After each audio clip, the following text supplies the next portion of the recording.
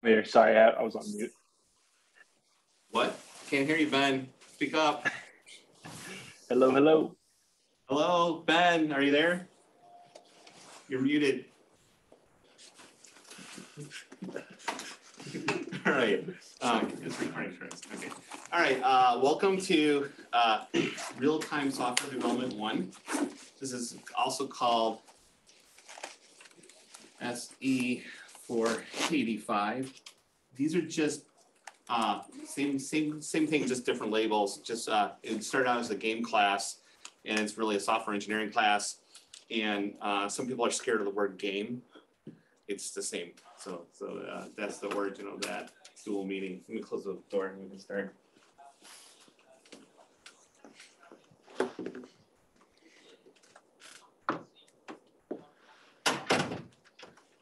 All right. Uh, all right. Welcome. Um, all right. So today is the nicest, easiest day we'll have. Um, wait, did I lock it? No. Uh, of the quarter. So enjoy, relax, um, absorb. Right. All right. So uh, what I want to do is kind of give you an understanding of what the class is about. We'll go into some material. Um, but it's really to kind of set expectations and, and set the new problem just found today. So, all right, let's start off with what is this course? All right, let me go with that.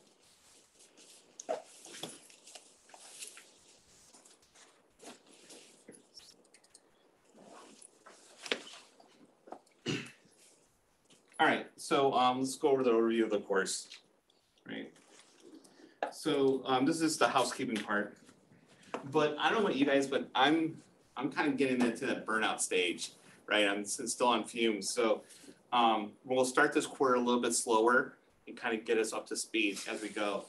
But um, just kind of keeping things in um, perspective here. Just remember, no matter what you do the rest of your life, you're never as cool as a monkey riding a bull. I mean, it's just something to keep in mind that you know we like to think we're doing cool stuff, but that's cool right? And if it was a flying blue monkey, that'd be off the shelf. That'd be even better, right? Did anyone actually catch that joke? What? The Wizard of Oz? Yeah, okay, Yeah, okay, yeah, just yeah. checking. yeah, and no, everybody knows Have to Wizard of. Oz. It's, it's common knowledge, and also, Is also, yeah, it is. And?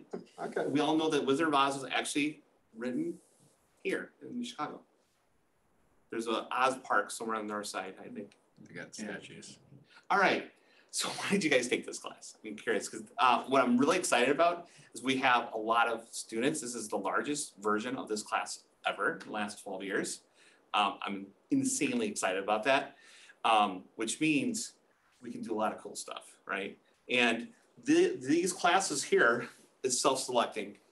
Most of the students who get to here want this material, so we don't have a lot of those students who are who are just you know struggling and failing and like I don't know what I, I don't know if I want to do hard stuff you know?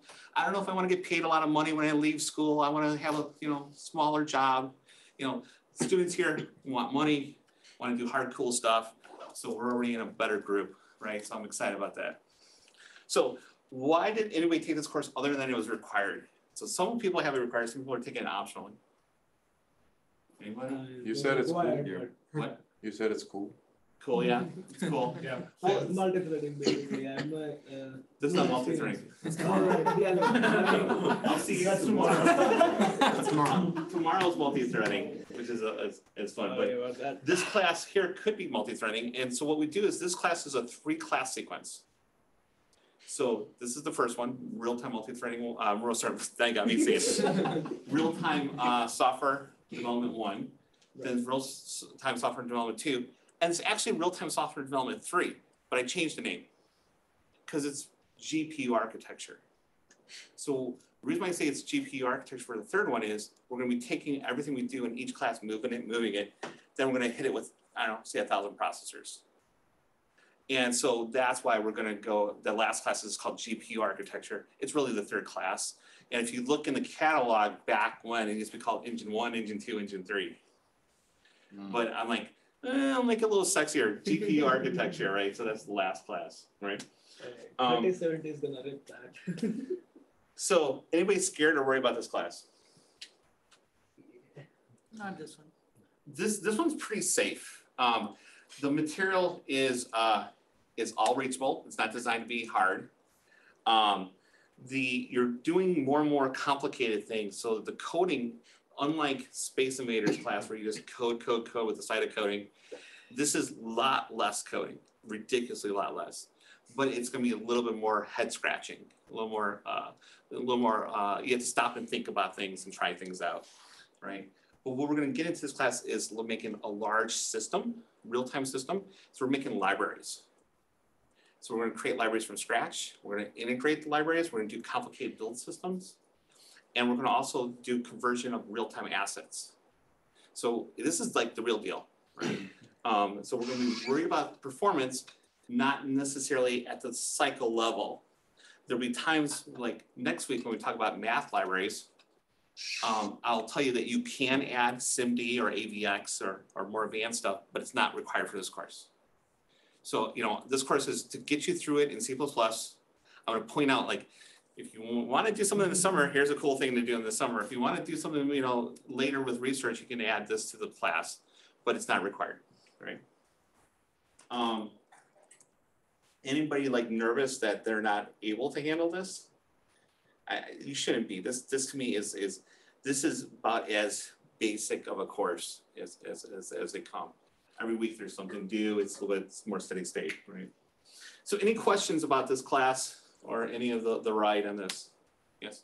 You said conversion of real-time assets. Is that like that FBX converter thing? Um, we're not going to use FBX converter. That's how we used to use it. Um, FBX is so so. Was it what year is this? 2023. Yeah. so that, that is so 2021.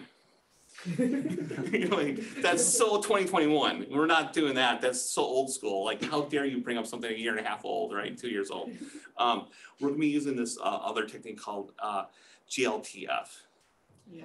Um, so. It's, a, it's a new format that actually is used in AR and VR. It's 1,000 times better than uh, FBX. And uh, for those who don't know, FBX is a format for graphics and animation. Um, uh, but we're gonna do something a little different with that. We're gonna actually do real-time asset conditioning. We're gonna use the same stuff that Google uses. So we're gonna use Google protocol buffers and kind of go into that.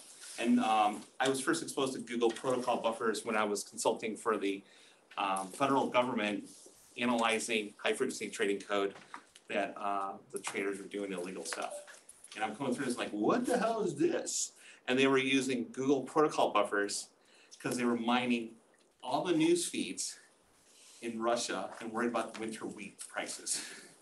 And so they take every single clip and every little blog, they put it into this pile, and then they would run time analyze this and give a strong confidence that the that the wheat crop going be strong or weak that year.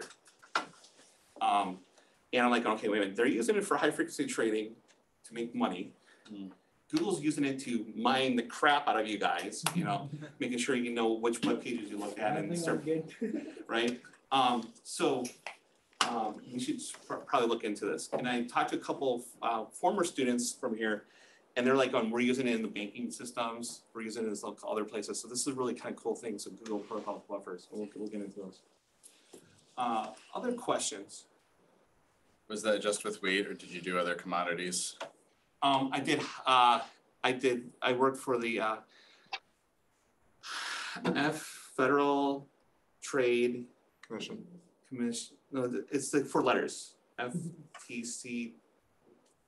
C T F C, it's a, I know, there's, whatever, they're down the street. Um, and, and we, we, uh, we looked at securities, futures, um, for CBOT, CME, stuff like that. Cool. And I was the, I was part of the government, so I was the guy who, they would subpoena the code and then we put the code in a room and then I would have to analyze the code without uh, just a text editor, which is like, you just wanna like shoot yourself in the face, it's horrible. Um, They couldn't afford Visual Studio. no, they weren't allowed to, because, you know, of, of, um, white room rules. Um, how much does this course build on your design system or uh, design patterns class? This, uh, design patterns are gonna be littered through everything even today. Okay. Um, so the catch here is if you don't know your design patterns, and uh, let's, let's, let's put it this way. half, I'll say three quarters of the population went through SE four fifty-six, right, the Space Invaders, which is pretty hardcore design pattern course. Um, and the other rest of you probably taken it through four fifty, um, the standard design pattern course. One of the difference between those two classes, um, and you can start blogs and talk about it, but one of the differences is real-time viewpoint of the patterns versus non-real time. And so in this class here, we're gonna be using patterns as a tool bag that we grab and say, you know what, we gotta organize stuff. Oh, what do we wanna do? Oh, we need to put in some kind of collection. Let's put it into a composite pattern. Oh, we need to touch everything in that collection. We'll add an iterator to it. So we're not gonna be doing patterns for pattern reasons. We're doing patterns with like, that problem screams pattern. So we just grab the pattern and use it. But we're gonna be using it in a um, real-time way. So we're, we're worried about um, pooling, we're worried about uh, unnecessary allocations, um, you know, accessibility and stuff like that. It's a good question. If your patterns are weak, don't worry, they'll get better. One another question, uh, how much of uh, uh, CSE 461 are we will we be using in this course? Uh, this is all in C++. So yes. Yeah, uh, I Um, mean like, uh, uh, do we do any optimization or no, we're not like gonna everything we're gonna code is gonna be using optimized techniques. We're not gonna sit there and say, okay, do this in SIMD. We're not doing it at that level. Um, we're going to be always aware of, so it's kind of like this, when we're doing a design, I'm gonna look at the data layout. And, and talk with you like, oh, well, if we move around this, we get better cache hits, right? Oh, guess what? You know, we just did an inheritance and there's a virtual pointer there. Okay, that knocked off our alignment. Because we just added a V table to it.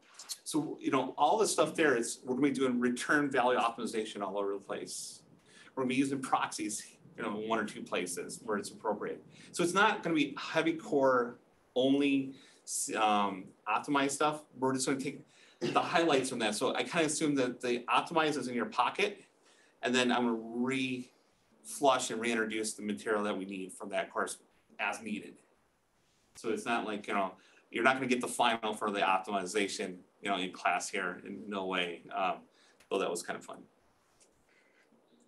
Uh, Other questions? Everything's Is in there C. a final or a final project? What's what's the final? Is it a, a Yeah, test we'll, or? go- we'll, we'll go through that. Yeah, it's, it's a final project and, oh, also a final essay. Which is, you, you- don't worry, it's, it's better than it sounds, all right? All right, let me just go through this, right? Design pattern, that document also. All right, But the graphics, what? what about the graphics? We are using OpenGL, right? Um, who knows? Right, We are Wow. using it. did, did I lose this? Honestly, I'm losing track of which is this class and which is the other one. Don't worry, they all kind of glue together. Also, Um, I'm pretty sure a meeting has a T in it. All right, well, I had different times and different dates on this stuff. Um, it just must not have happened. I'm now like freaking out. Where did?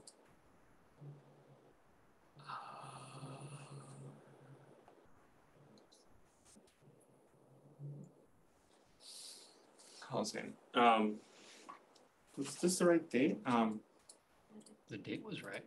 The date was right. Oh, no, it was the- Date's wrong. Never mind. Ah, This is last year's. All right, um, all right, Say we'll do a commercial break here. Let me just upload the right one.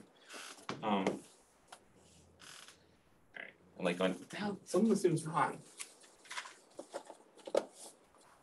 And it's also game engine programming one. Uh, it did- it's the last I might have typed that in before. I had no idea.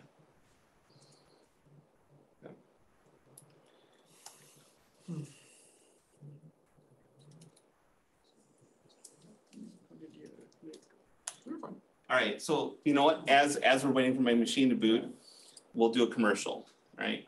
Um, Who's this week's sponsor? this week's sponsor is, uh, I do, I normally do Kraft. um, America's favorite cheese. It's a horrible cheese. Um, all right, so I told you there was three classes, one, two, three. Yeah. Here's the third class. I want to show you something. Um, it's all in Visual Studio 2022. And as this thing boots up. Anybody? There we go. All right, and here's here's projects: tiny GLTF shaders, XML protocol buffers, proto interface, math file, and then the converter, right? The converter then has a ton of other stuff, right? And so we go through all that, and now it's going to actually uh, compile all these projects at once. And You can see them happening in parallel here. The numbers are different numbers. And what these things are going to do is going to read raw assets.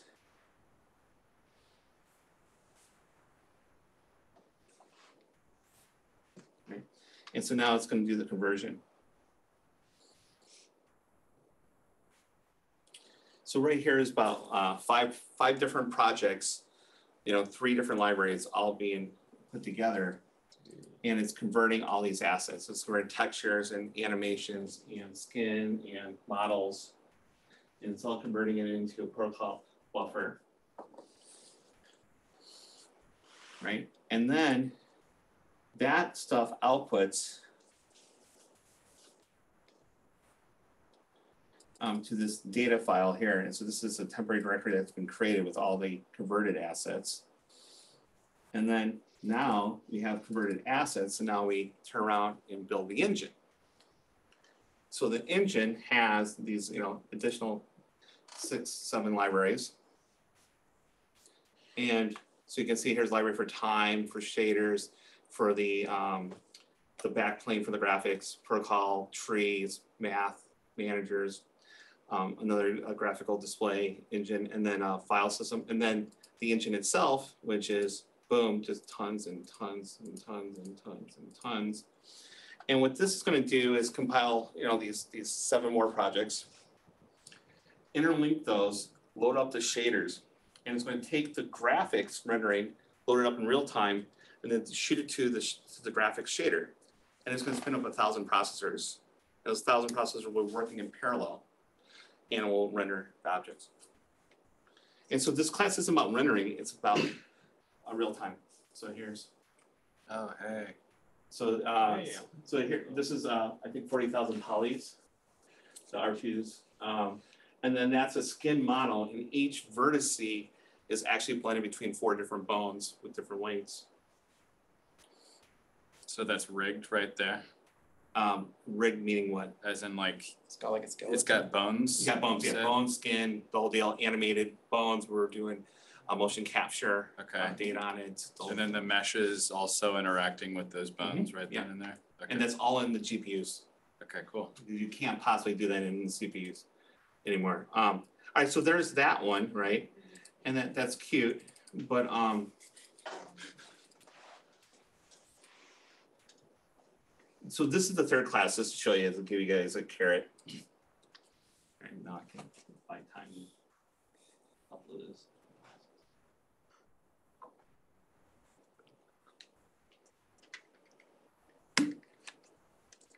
Um, Something failed. Right. Not see Gangnam Style. What? I'm just Yeah. reading. Not see hip hop dancing. Not see. also doing a lot of stuff here.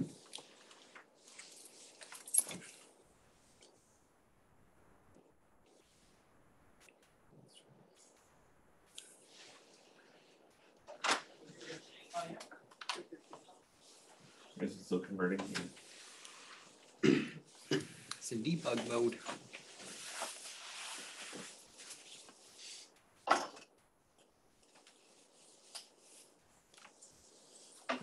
Um, it does, debug mode doesn't matter in this case, or do heavy IO.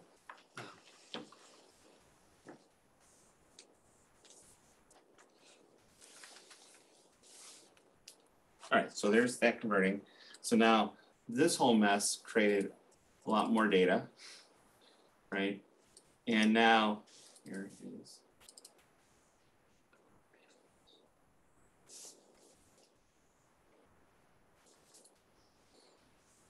So now, hmm.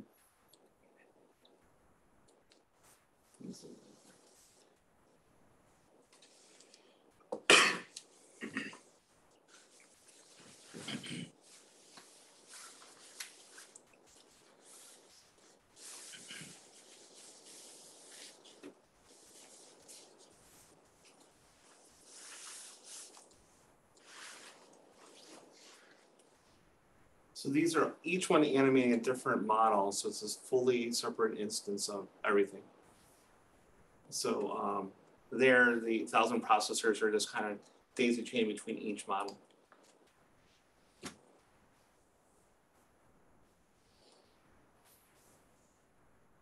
So anyway, all right. Now I got that. So I have to ask, who did the motion capture for all of this? this is this is off of Adobe website. Fuse.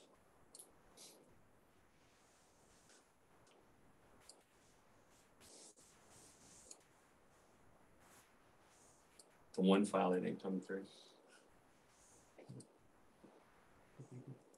It's always the case, right? All right. Um, there we go. Right date, cool. All right, got that going for you. All right, so um, all right, here we go. Yeah. All right, so the uh, obviously the meetings uh, in person. If you can attend, please attend. We have still more space. If you know, other people can squeeze in here, it's totally fine. Um, I have an email. Just use it for emergency. I I literally get six or seven thousand emails a day, so it's just Piazza is better. Um, all right, there's my room. Phone number is completely useless. That's 1980s technology. All right. Um, Zoom. So office hours, I have a half an hour um, in person today before, uh, before the class. And then I try to get in here earlier and be also in the class for additional office hours. But then we have also online on Monday night office hours by Zoom. And the reason for that is a lot of students are, are working or just their schedule doesn't necessarily fit. So um, we do it on Monday nights. Great. Uh, just use um, Piazza as much as possible, right? All right, so philosophy of this course is the only way I can have you learn real-time software development is to do a project, to do something large, to do something that is going to push you in those envelopes, right? The stuff we're going to be doing is going to be somewhat game or graphics related, just because that's the thing that's going to chew through a lot of data, right? It's not necessarily about game development. It's more about uh, just the real-time aspects of it. The one thing we're going to do is you can work in groups, but all the projects are individually done. Um, the reason for that is if you work in groups, you know, Jill always does networking and Mike never does networking. Every class, Jill does networking. She's really good at networking. Mike never seen networking. So when he goes to interview, they ask him a networking question. He thinks he knows it, but actually Jill did it the whole time. And now uh, Mike doesn't get the job, right? So individual uh, work really helps you clarify your weakness, right? And I'm there to help you bring up on this. Uh, this class, as you can see, some of the um, final projects, you know, you have a lot of latitude to kind of be creative and do more things with it. And a lot of people show off and do this stuff. These are the things that you can show off to people in industry because most people haven't done this stuff. Even the people you're interviewing probably haven't done a lot of this stuff. So it's kind of some some cool stuff, right? All right. Real-time software development. I had a lot of students last year who went through all these three courses and some of my other courses, finished getting insanely good jobs. Um, starting at 170,000 with zero experience. Companies aren't generous. They hate giving money out, but they have to give good money out to people who can do hard problems because they can't find other people. The problem that you guys will have if you go through all these courses is that um, you'll have a lot more experience than your years say. And so it will take a little bit of interviewing to get to the right company who appreciates what you're doing because you're so far ahead of someone with five years, 10 years experience. And you have, you know, no years experience or very little. Um, but you just have to find the right companies that, that have hardcore stuff. Good, good, strong companies want strong programmers. And um, they're in demand. And this is the only, only, only security you can have in, in your uh, programming or technical career is your ability to do hard problems. You know, even if you, unless you work at your, your parents' company and you're a relative or something, you married in or did something like that, there almost is no security in tech field um, because companies get gobbled, they fall apart, they lay off certain stuff. But people who are good never are unemployed. And every time they switch jobs, they go up in price right? I got mad at my company one day. And this squabble. I remember like going F you and I took a mental holiday the next day. I got three job offers. And I was just like, I'm mad. Let me call these three people.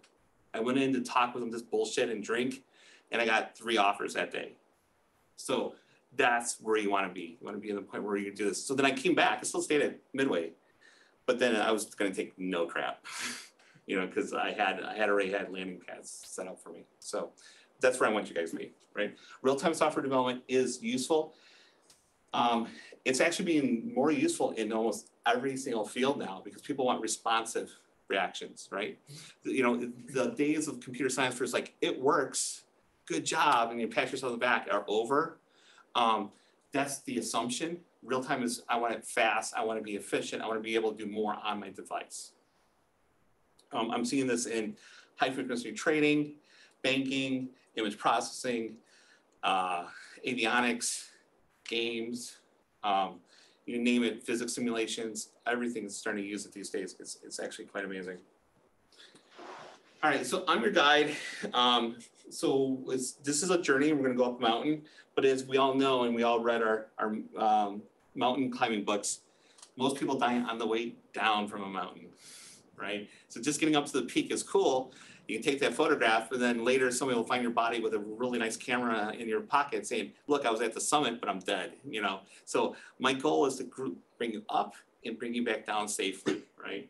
And in doing that, I'm going to pull you back sometimes. You're gonna be overly aggressive and overly optimistic, like, wow, I did this, now I wanna do this, right? Or like, I, I was in Optimize and I learned about this hammer. This hammer is called SIMD. Isn't that the best hammer in the world? And you're like, oh, Ed has this math uh, library. I'm gonna do the whole thing in SIMD. I'm gonna pull you back and say, don't do that because you're gonna use all your oxygen now. And when we get up to high altitude, you need that oxygen, you don't have anything left, right? So these are good exercises to add later, right? After the quarter, some people actually take a problem here. We're gonna come through a lot of different unique problems. And they've done research projects with me just on that one problem. Um, so don't, I'm gonna pull you back so you don't do overcommit, right? So here's the syllabus um, statement, blah, blah, blah, it's huge, right? We're doing runtime, libraries, low level abstraction, data containers, memory tracking, um, you know, drivers, align allocations, data-driven messaging. Um, so a lot of different things are happening here, right? So let's look at this a little more. The prereqs for this course is optimize C++. You should know C++ pretty well, pretty solid. If you're a little weekend areas, it will get shored up just by nature of using it more. So it's kind of like the more you practice, the better you get at it.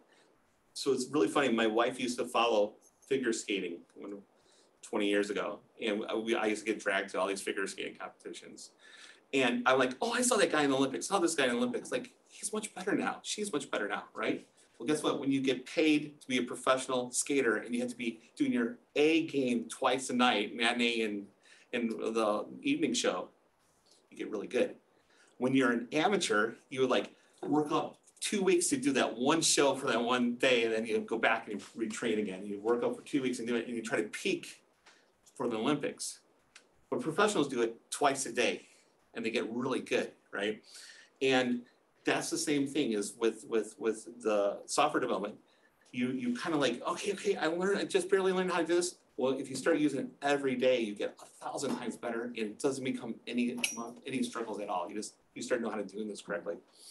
We're gonna be doing a, uh, some common patterns, not all of them, but pattern here and there. We're gonna be uh, doing some high speed, high performance uh, file systems and memory systems. So we're gonna be understanding a little more about caches and how does the data work underneath the hood. Um, what's interesting right now is by using, we wrote our own memory system, right, before for Optimize or in systems, some people did that in systems as well. Uh, we're not gonna use, we're not gonna write our own. We're gonna use Microsoft's Win32 memory system. And that's much lower level than what we had before. And we're gonna build our system on top of those things. So like right now, if you're on your, your, your iPhone, your iPhone has an iOS kernel, and the iOS kernel has its own memory system. That's gonna be faster than calling general, new, or delete, or malloc and free. by calling their operating system. The problem is people don't use it. It's there. They don't use it because they're afraid to do the abstraction. The- everybody's interface is slightly different. We're gonna learn how to understand the abstraction, wrap it, and use it in our way. So there's a lot of things that are there. It's kind of like having your car. And if your car has a sport mode or a manual mode, you don't use it, you're not gonna get the most out of that car. Right? Um, all right. Textbook is gonna be, uh, textbook is really, they're really, I was gonna say, there's really not an official textbook. If you wanna go deeper into these problems, this is a book that kind of starts you off in this. I know, this is like, I don't know, nine hundred to, I don't know, twelve hundred pages, I forgot what it is. I worked with this guy before. He's uh, one of the engineers at Naughty Dog. Um, I'm gonna hold judgment because I, I did work with him for ten years. So um, there's things in here that are good, things in here that are arm waving. And one of the problems I have with any book is they give you spoon-fed chapter and chapter and section section on the easy stuff. But when the real stuff comes, they arm wave and they don't never give you the details. And that that really frustrates me because I can figure out the easy stuff. I can go get 17 books that have the same intro chapters. I want the, the, the meat, the hard part, right? I want somebody to sit there and give me guidance. And that's what's missing out of this book as well. So this gives you the high level stuff, but doesn't give you the low level, here's how it really works. And then partially that's also because of trade secrets. So um, surprise, surprise, academics is late to technology. If you read a book, the book is 15 years old published yesterday. It's 15 years technology old. The latest stuff is in journals. That's five years old. Papers, topic papers, are two to three years old, right? So by the time it goes from a couple papers to journals, collection to a book, you have a 10 year cycle before it gets into a book, right? Now, I worked in industry for a lot of years and I know other people who work in industry. We did really cool stuff and we weren't allowed to publish a lick of it because that's our trade secrets. And you know, the company paid you real money to develop this stuff. They're not paying you to share it to our competitors. So um, reason why I say that is a lot of material we're going to go through isn't necessarily in books. I'm going to kind of cover it, give you slides. We're going to do exercises with it, and I'll give you kind of here's 10 different references of pieces of it, but we're going to be kind of putting together in this class. So the, the reference material is going to be a little more spotty, you know, a little more like optimize, where you kind of find the pieces there, but um, that's the why. Right? All right. As of 10 a.m. this morning, uh, we were going to use OpenGL. And here's what it is. I hate Apple, I hate Mac, I hate Apple, I hate Mac. Um, so here's here's my here's my beef about this when I came here from industry, I, I came in here and was like, oh, we're going to teach on DirectX. They're like going, well, we're using OpenGL in, in academia because it's it's universal, it works in everybody, right? So then I started teaching iPhone development in that was in OpenGL. So I bought a Mac, teaching OpenGL, and all of our classes were in OpenGL. Apple, after Jobs died, decided that they're going to do a couple things. They're going to make their own chipset and they're going to make their own competitive uh, graphics solution, Metal. And what they did is they used to have the Intel processor, so you used to be able to dual boot from uh, Mac OS to literally a true boot on an, on an Intel processor to a Windows machine. Then they came up with their own processor, the M processors. And so now you can't do dual booting, you can't do a true boot camp. So you do this thing called emulation. So you use parallels or there's a couple others uh, ones there. And that's worked pretty good. And I found out today by a student online, he he's like, I got this new computer and it says OpenGL 3.3 compatible, which is a state-of-the-art 15-year-old interface. But his same computer runs on DirectX 11.4, right? So he has beautiful hardware and Apple is screwing Mac users from using OpenGL. And uh, I was teaching before on uh, Vulkan, the same thing happened. that uh, they stopped Vulkan production because it was competing against metal. So they even went furthermore, they actually remove functionality from their, their chips on this. All right, so what does that mean to you guys? Not a damn thing, right? All it means is when we start graphics portion in five or six weeks, I'm going to have ever, we're gonna probably go on to DirectX, which is fine, because you know, it works. It works even on Macs with emulation mode, so it works on everything. I just have a lot of work to do between now and then, just to, to change the whole three courses into uh, DirectX. So, um, so yeah, it was bound to happen at some point. Um, I got my cussing out of the way. I was just screaming left and right and throwing things. Um, so when we talk about the uh, the first kind of mini um, environment assignment, I want you to look at what is your OpenGL level and what is your DirectX level. And this way I can make sure that we're all compatible with that, which I think we will be. Have you, have you posted instructions on checking DirectX level? It's the same tool. It just it reports it. Oh. Yeah, it's just a little, little bit, little bit down. It says DirectX. Another tab.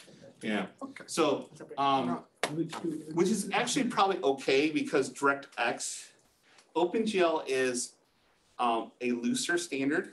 It's not as strict it's not as um, compile time safe. There's a lot of casting in OpenGL. DirectX has a lot more type safety. Doesn't matter because your your um, your PC has a graphics card.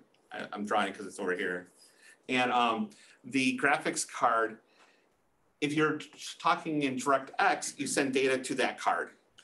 Or if you, know, you send data to the same card. So the data is the same. It's just what is your interface to the data. So eh, there's a little different setup, but at the end of the day, the same bytes that get marshaled to the chip are the same. So that's why they're fairly compatible between the two. What about metal? why would I want to like encourage? Uh, if you want to do metal, you do it as a research project. All right. We're going to go into low level uh, Windows programming. Um, this book here, this is Windows system programming. It's kind of old, but it has the internals of the stuff. There's a really good link online that has all this material in there. Also, it has all the functionality online as well. And we're going to be writing our own memory system and file system using that. Um, in the future, if you wanted to, you can even do threading system and, and um, these things called, you know, you have threads, right? But one thread is made up of many fibers. So they actually also have fibers as well. This is a magic book. All right. And obviously everything being in C++, don't worry, um, we're not gonna go down the template route. Templates, partial specialization, and all the crazy template stuff that people just love to use, I, I think are really inefficient because it's hard to optimize that stuff. Secondly, almost impossible to debug. When you mistype a template stuff, it throws the most obscure, you know, like you know, like report, you know, errors that that you can imagine. Um, so we're going to stay away from uh, opt, um, uh, template programming. The only time templates are kind of useful are for containers.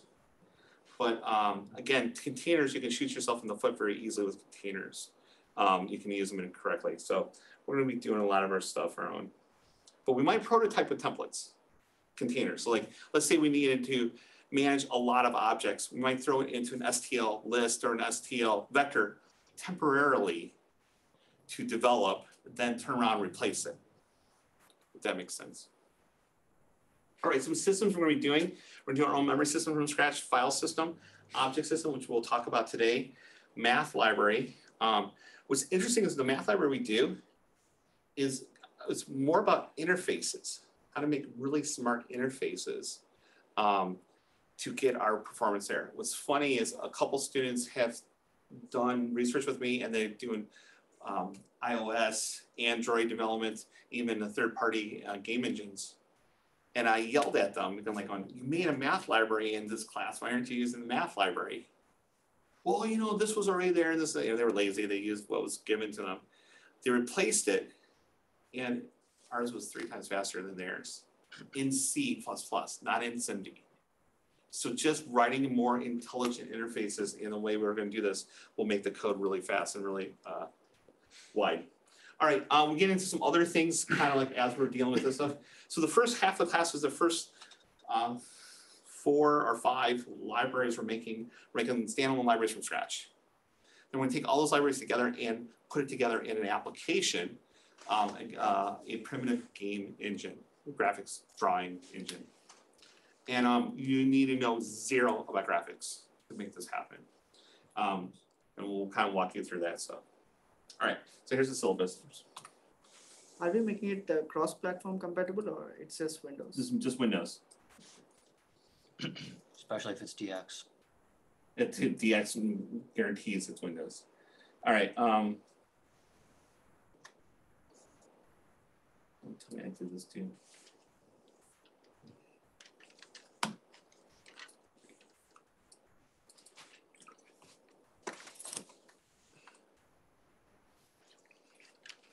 All right, so here's the syllabus. Um,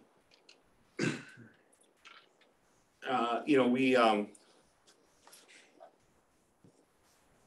yeah, there's the in-person four to uh, four thirty to five, and then also back into class, um, and then Monday remote. Um, here's the lecture. Here's the the thing here. Here's all about a hundred thousand lines of code. Somebody saw that, kind of freaked out. No, it's about a hundred thousand. All right.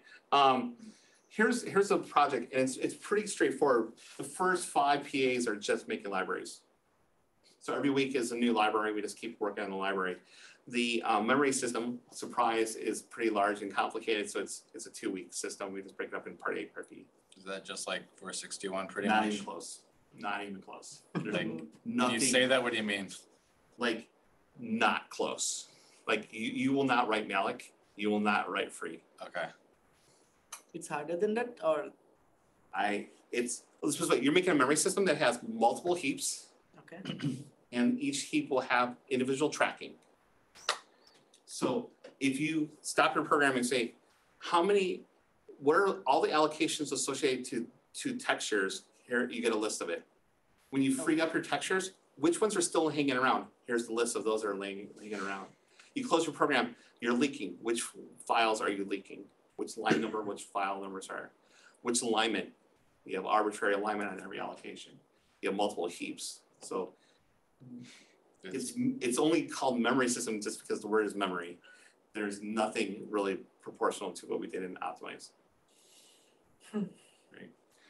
But it's needed for real time. All right. Um, so we, we're doing an object system today. We're doing a memory system. These two are swapped around. We're actually going to do the math system next week, and then the memory follows after that. We're gonna do a file system from scratch um, using Win32, and then we're gonna add iterators to our tree. Our big project is to make a graphics object, uh, graphics engine um, associated with this, and it'd be like a little step on the way. In our essay, our essay is throughout each of these assignments, I give you a different software engineering technique. And what you're gonna do is just write a four-page paper on compare and contrast those techniques. So it's a, it's a reflection paper, it's not a, it's not a, you know, correct or wrong, incorrect. So some of the things we're gonna do, um, test-driven development, iterative development, you know, uh, uh, exploratory prototyping, stuff like that. And these are the skill sets that you're gonna use when you're doing software architecture. All right, so here's the books. We're doing everything, I, shoot, I need to correct that. We're doing everything in twenty twenty-two. Um, and what will happen is I'm gonna give you the projects that are gonna work in twenty twenty-two. Um, the, it seems to be pretty stable now, and, uh, if you've read the, uh, Piazza Post, I told you kind of what they did here at DePaul. They installed twenty twenty-two, but with, uh, twenty nineteen with the twenty twenty-two libraries, and they kind of crisscrossed these things, so it didn't, wasn't really consistent. And when I, we discovered it, they're like going, well, we're not gonna re-image all three hundred computers throughout the university with the correct version. So that's why it took me a while to kind of figure this out. So we're gonna be now in twenty twenty-two. You can use newer stuff, would stay in twenty twenty-two. Um, and then the verification will make sure you're in the compatible version of it. All right, um, I went through this. So the first four, uh, five systems are just libraries, and then we do the engine. Then we do a progression video, and then the essay, which is basically a reflection. So it's mostly the grades are mostly with It's the all code. assignments. Yeah, not code. the final. Yeah, the final's ten percent, but everything's code, and the final is reflection. Unless Okay. you, I don't don't write with complete sentences, I think you'll get full credit. Um, but um, anyway, all right, so uh, Perforce, Piazza. Um, please, I encourage people to work together um, and bounce ideas of each other. Piazza is going to be only as good as people participating in it. Um, some people last quarter in especially in um, engine and engine um, space invaders and in optimize asked a lot of questions and got a good dialogue going on um, the problem right now is with discord it's too free form people tend to do use that stuff but i have seen historically people who who are heavy on discord actually correlate don't do as well as people who participate more on piazza um, so I got data for that for, for ten years worth. So please, not 10, seven, I guess. Um, please use Piazza and ask questions there. This way we can sit there and put a code snippet, code problem, and we can have a lot of discussion just on that code snippet. And then now, if you're the first one there, you can, you're, you're pioneering, but if somebody comes in there a week later, it's still there and it's, it's very easily searchable. So please use that. Uh, we cannot leak memory. That's gonna be the Russell we're gonna have to deal with. Um, everything you're running, we were gonna run both in debug and release. I did in the past, uh, two years ago and, and earlier, where I had everything built in x86 and 64-bit mode. Um, I'll leave it up to you guys, but I didn't think it was a good return. Uh, this meant you had to build four different variant variances. When you do your data structures, you have to deal with pointers are 32 bits or pointers are 64 bits, which jacks your whole alignment. So you have to have now two data structures per build. And, and your alignment issues comes with that. You have to use size T a lot more. So I'm kind of drifting away from doing the dual uh, build on that for 64-bit and 32-bit mode. But if you want to, we can talk about that or even do a mini exercise on that. But I don't think it's a good return. Yes. Is there like a consistent, safe way to write so that we can, it's like the same code can work for both cases where it's like general enough to like, oh, I need you to go read how long the word is and make yourself fit that, or is? No, no, it's literally, you have two data structures with a pound define which one you. Oh, I see.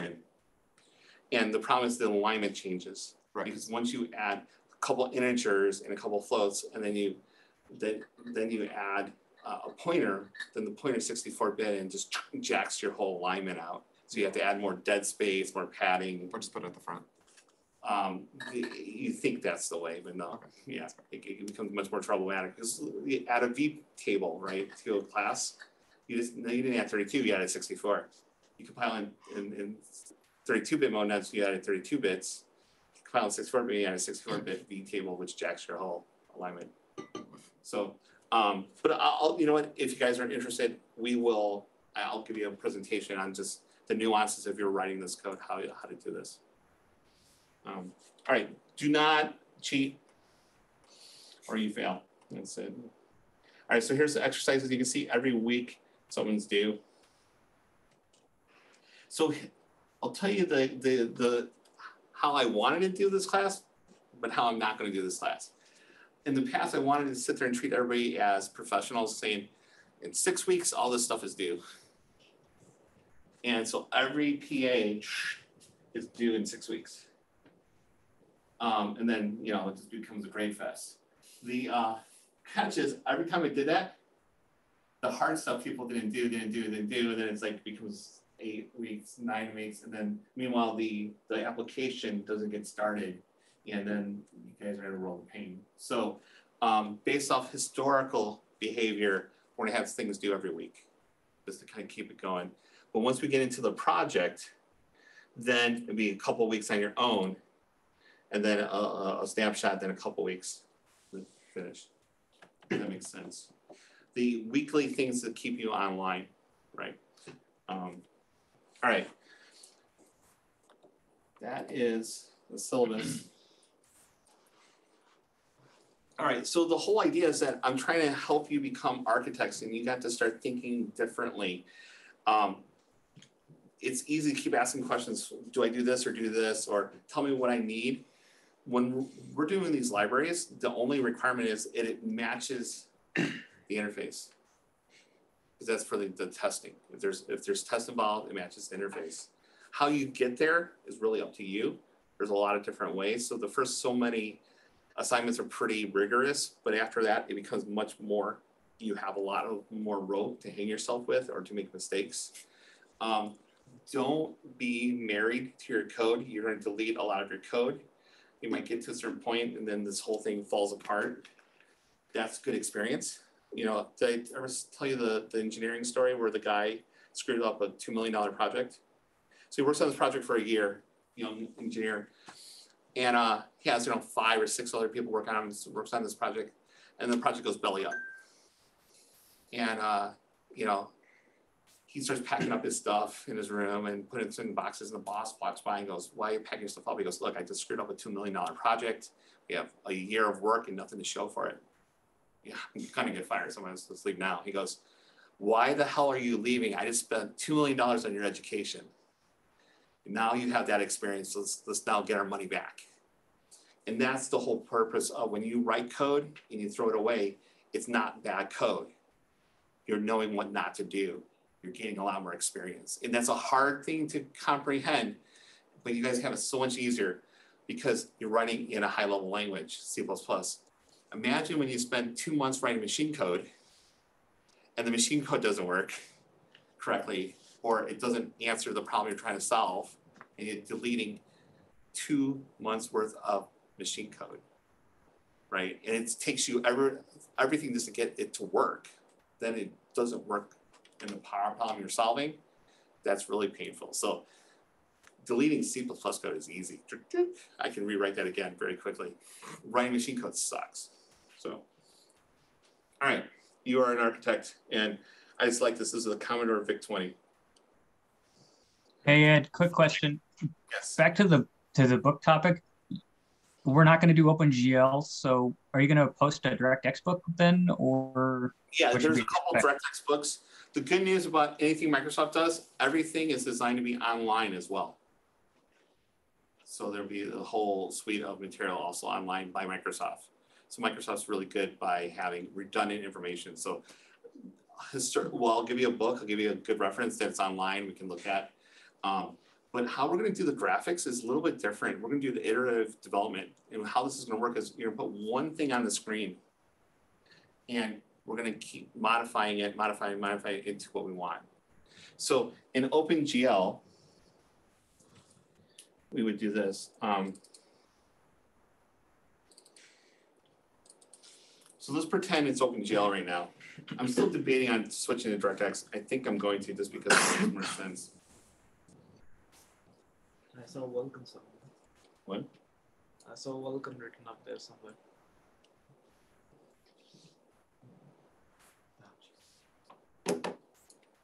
That's nice. Warnings. You're kidding me. Just a pragma, you could probably just. No, that means mine, mine at home is newer than this one. So I was getting errors at the one at home, and not the errors here. All right, so this this project here, week six, this is what we started out with. Probably be DirectX, but same same idea. We start off with a working demo, right? And this working demo is one file. That's it. And all we're gonna do now is dissect this file, start separating it, making more files, making, moving the library around here, moving the data here, adding this, adding the math and replacing it. And literally every, every step, we'll be doing five or six mini steps to get there. Every week we'll do five or six mini steps. And in four weeks, it's gonna look nothing like this and this will be huge and large. So we're not doing graphics from scratch, like here's the book, good luck. We're, we're saying, here's a demo, we're gonna iterate and refactor it and add structure to it and, and order to it. And that technique is a way to get going a lot faster than you can ever do from scratch. If, if somebody gave you a DirectX book and say, here, program from scratch, you get no sample code, you'd be banging your head for, for, for quite a while trying to learn that material and trying to figure out how it works. But if I sit there and say, this works today, keep it working, You then say, you know what? I'm gonna replace it with my memory system. I'm gonna replace and add my file system. I'm gonna add my math system. Oh, you know what? We're moving data here. Now let's make a manager to organize that data. Now let's shuttle it this way. And slowly and steadily, it looks then like an engine.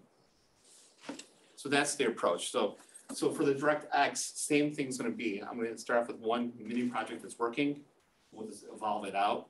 And as we evolve and we're touching something, that's when we look up and say, what is this really doing? How does this really work? Right? So it's a little different approach. Does that make sense? Yep, thanks. All right. Um, all right, so, right, yeah, cool. All right, so let me go through um, a quick lecture here on architecture design. How do we design architecture and how we look at things, right?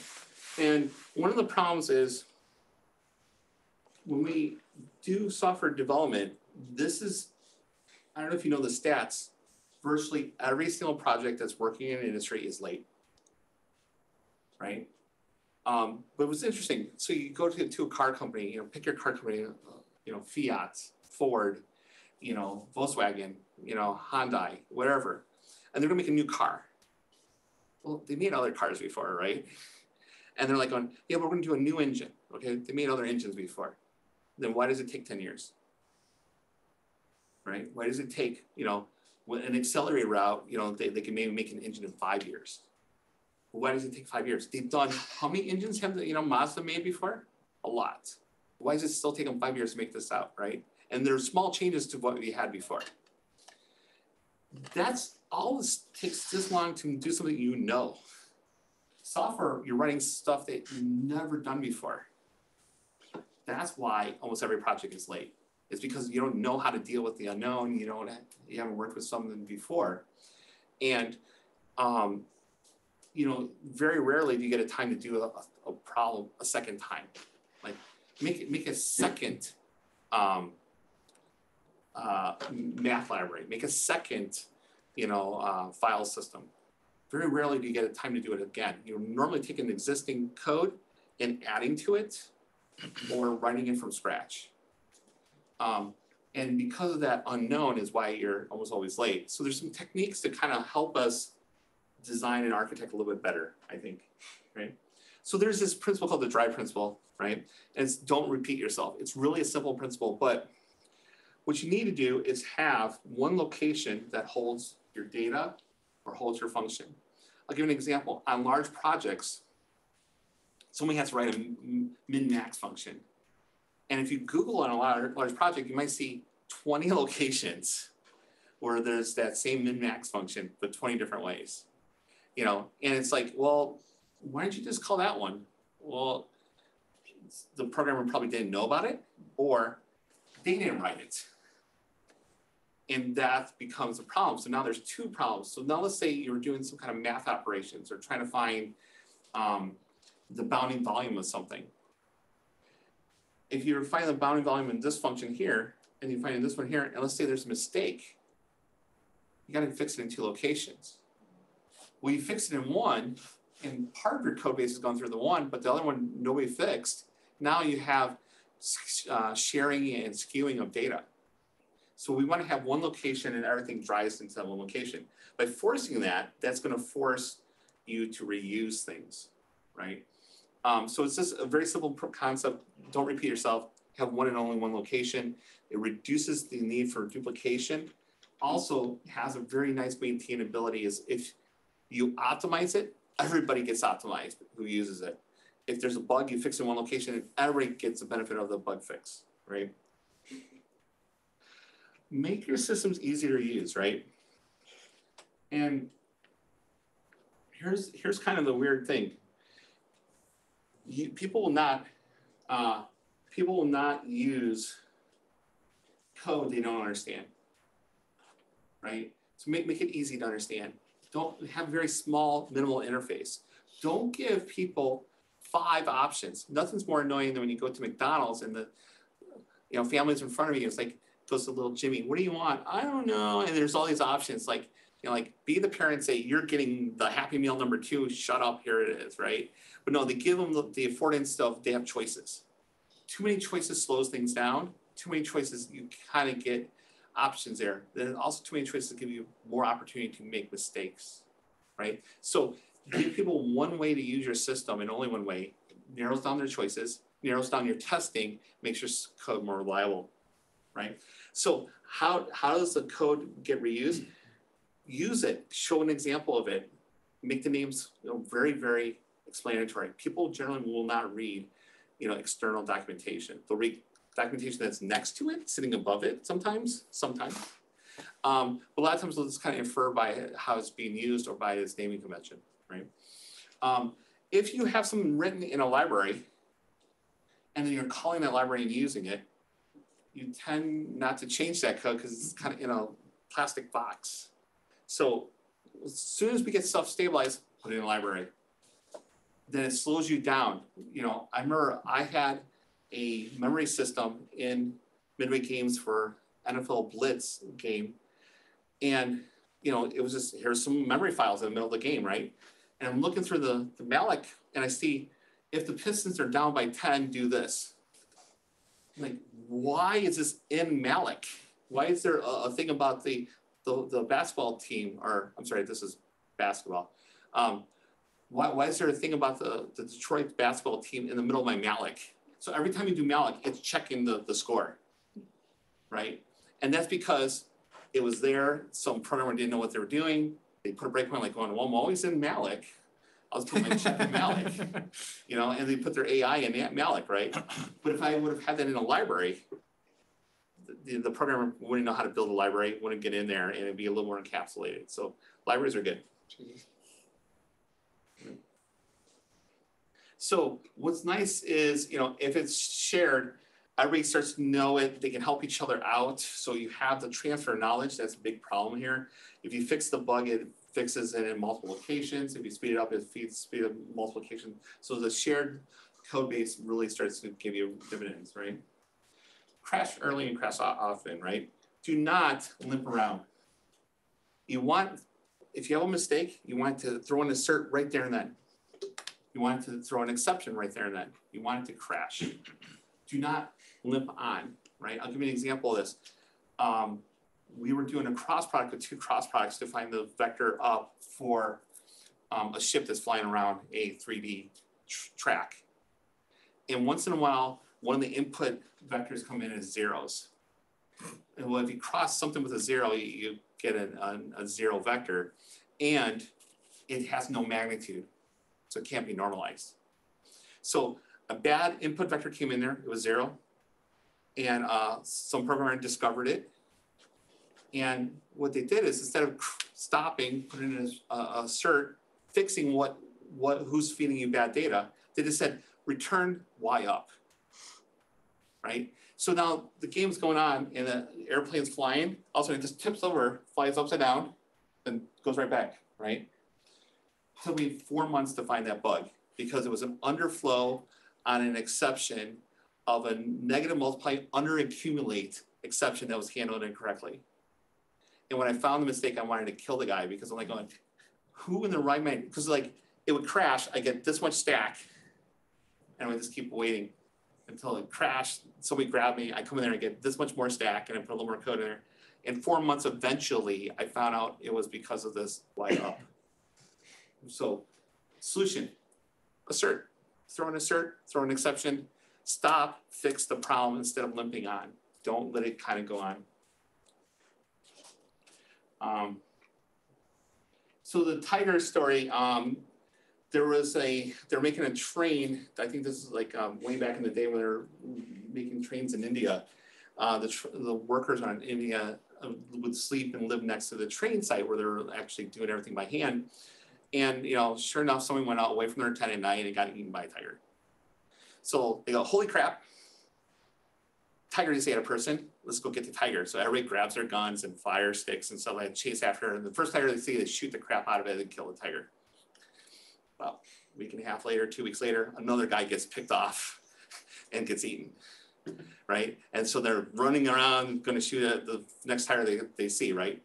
And somebody finally said, you know what, stop. let's not, let's make sure we get the right tiger. So when we get the tiger, let's make sure there's a piece of the guy's arm in his, in his belly or something like that, and we know we killed the right tiger, right? The analogy is when you debug your code, you change something like, oh, the bug's gone. That's coincidental. You just shot a tiger. It may not be the tiger that caused the trouble, right? Make sure you find the right one. Make sure you see that this, what I always try to do is when I have a bug, write an assert that shows the bug crashing. Fix the bug, then the search should never get called again. Right? So those first solution when you find a bug, don't fix it, add testing. Then now when you fix it, you don't you should never get bit by the same bug twice, right? Orthogonality. Keep your libraries and your systems isolated and decoupled from each other. You want to optimize one system, but you don't want it to affect the other system, right? Your UI should not affect your physics, right? I'm joking, but that's how Unreal works. It's backwards, I'm right? Sadly to say, that's how I found code in Unreal, like, why is physics inside of the UI? And then they had the, the guts to say, uh, at a GDC conference that they were gonna talk on orthogonality. So I'm like, oh, I'd pay money just to go in there to heckle them. Um, so keep them decoupled. The more you can keep them decoupled, the more you can swap things out. So if you have your file library in one location and you're calling everything to the to that one location, you can swap that out with a different file library and you can see if it runs faster or not. All right, um, orthogonality actually has a, a secondary effect. When you start working on teams of, of more than one, if, if your files are large and they're doing a lot of different functionality, they'll be in the same code base by two, three, four people. And now you step on each other's toes and you have to do merging issues and, and um, resolve conflicts. By keeping them more separated, you're like, oh, you work on this system, I work on this system. This way, you kind of work with autonomy and isolation on your by yourself. So from a working standpoint, um, orthogonality helps as well. Design your code into layers, right? And so layers you can control the accessing and and and um, you can kind of have rules of how you communicate the layers. So layer system is what we're going to use in this class as we get in larger systems. And here, here's the diagram on the right is the condensed diagram, and then what it means is on the left here. And what we can see here is that um, B can talk directly to D, C can talk to this, anybody can talk to anything on that line, and A has, you know, it can go to all these different levels. And the reason for this is you can start to talk to your hardware and have kind of the whole concept of rings of, of um, um, permissions, right? Like, I'm not going to talk to the hardware. I'll have a hardware abstraction layer talk to it. Now I just talk to that layer. Well, maybe my math library talks to you. Then we're like, oh, collision library talks to the math library. And the physics library talks to the collision library. And now the physics library actually propagates all the way down to the lowest level, but it doesn't need to know about the lowest level. You know, it's kind of like you kick the can, you give it to somebody else and you delegate it, and they're responsible to take it to the next level. And that keeps your code simpler and, and a little cleaner. So this is layering. This is really a nice, nice technique, and we'll be using that.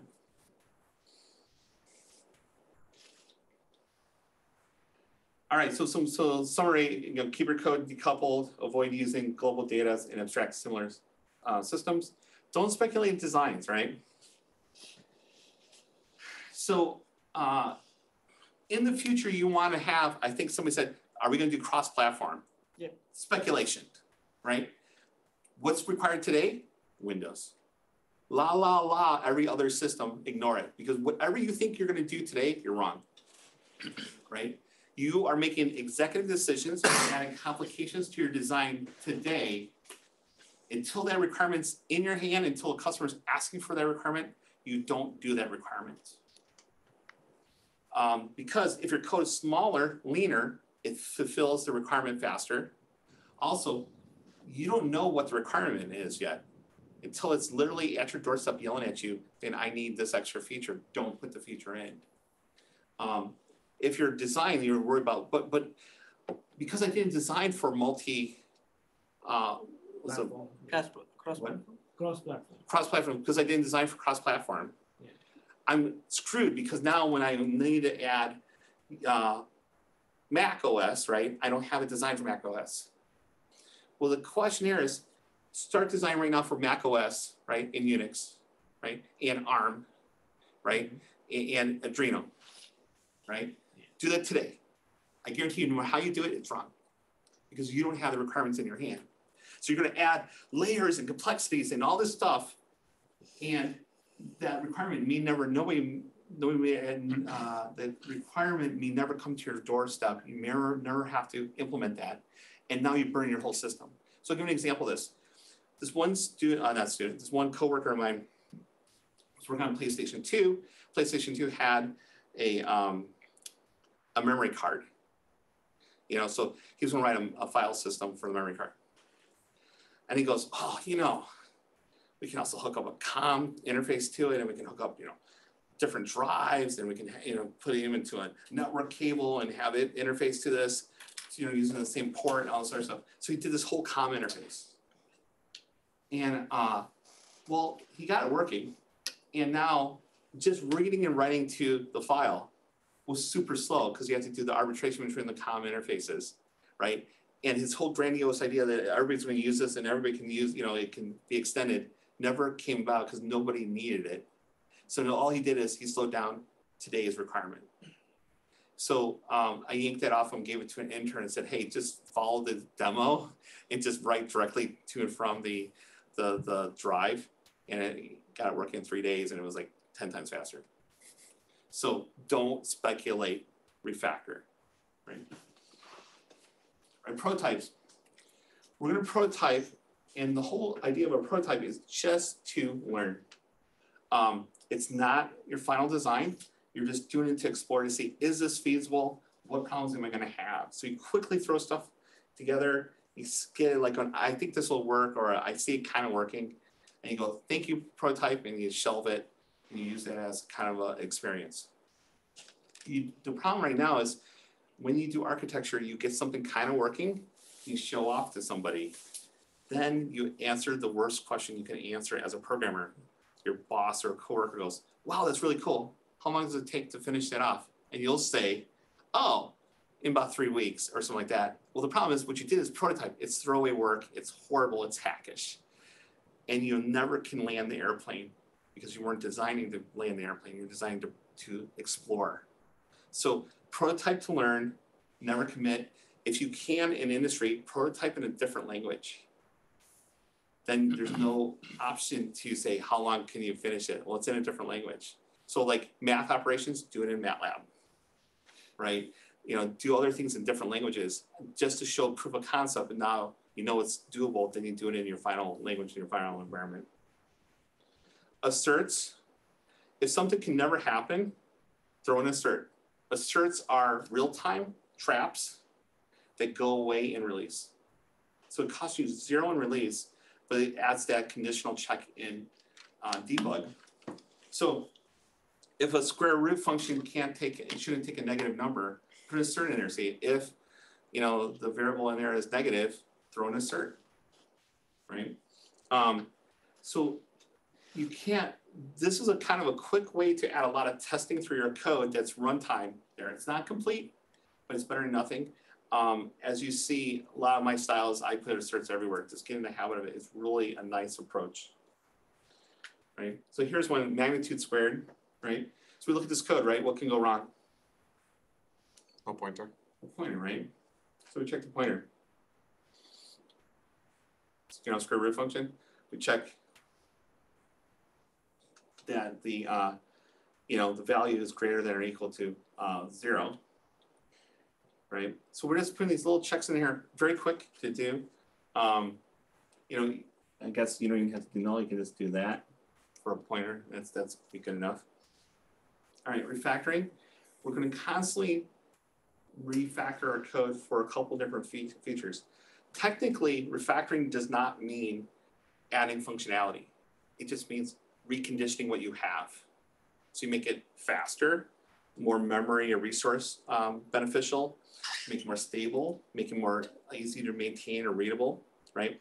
the, one of the things here is if your code gets cleaner and, and better, it becomes inherently more readable. And one of the things I always pride myself is that I would write code that's clean enough that an intern can maintain it. I'm not trying to do trickery. You don't need to do tricks. If you can keep your logic cleaner, that's good. So you don't get points for making complicated, ugly code. You get points making good, solid, stable code, right? Um, the if you read the Mar- Martin Fowler book on refactoring, he has a book where he talks about refactoring smells. And so he has in the back of the book, he has a thousand different smells.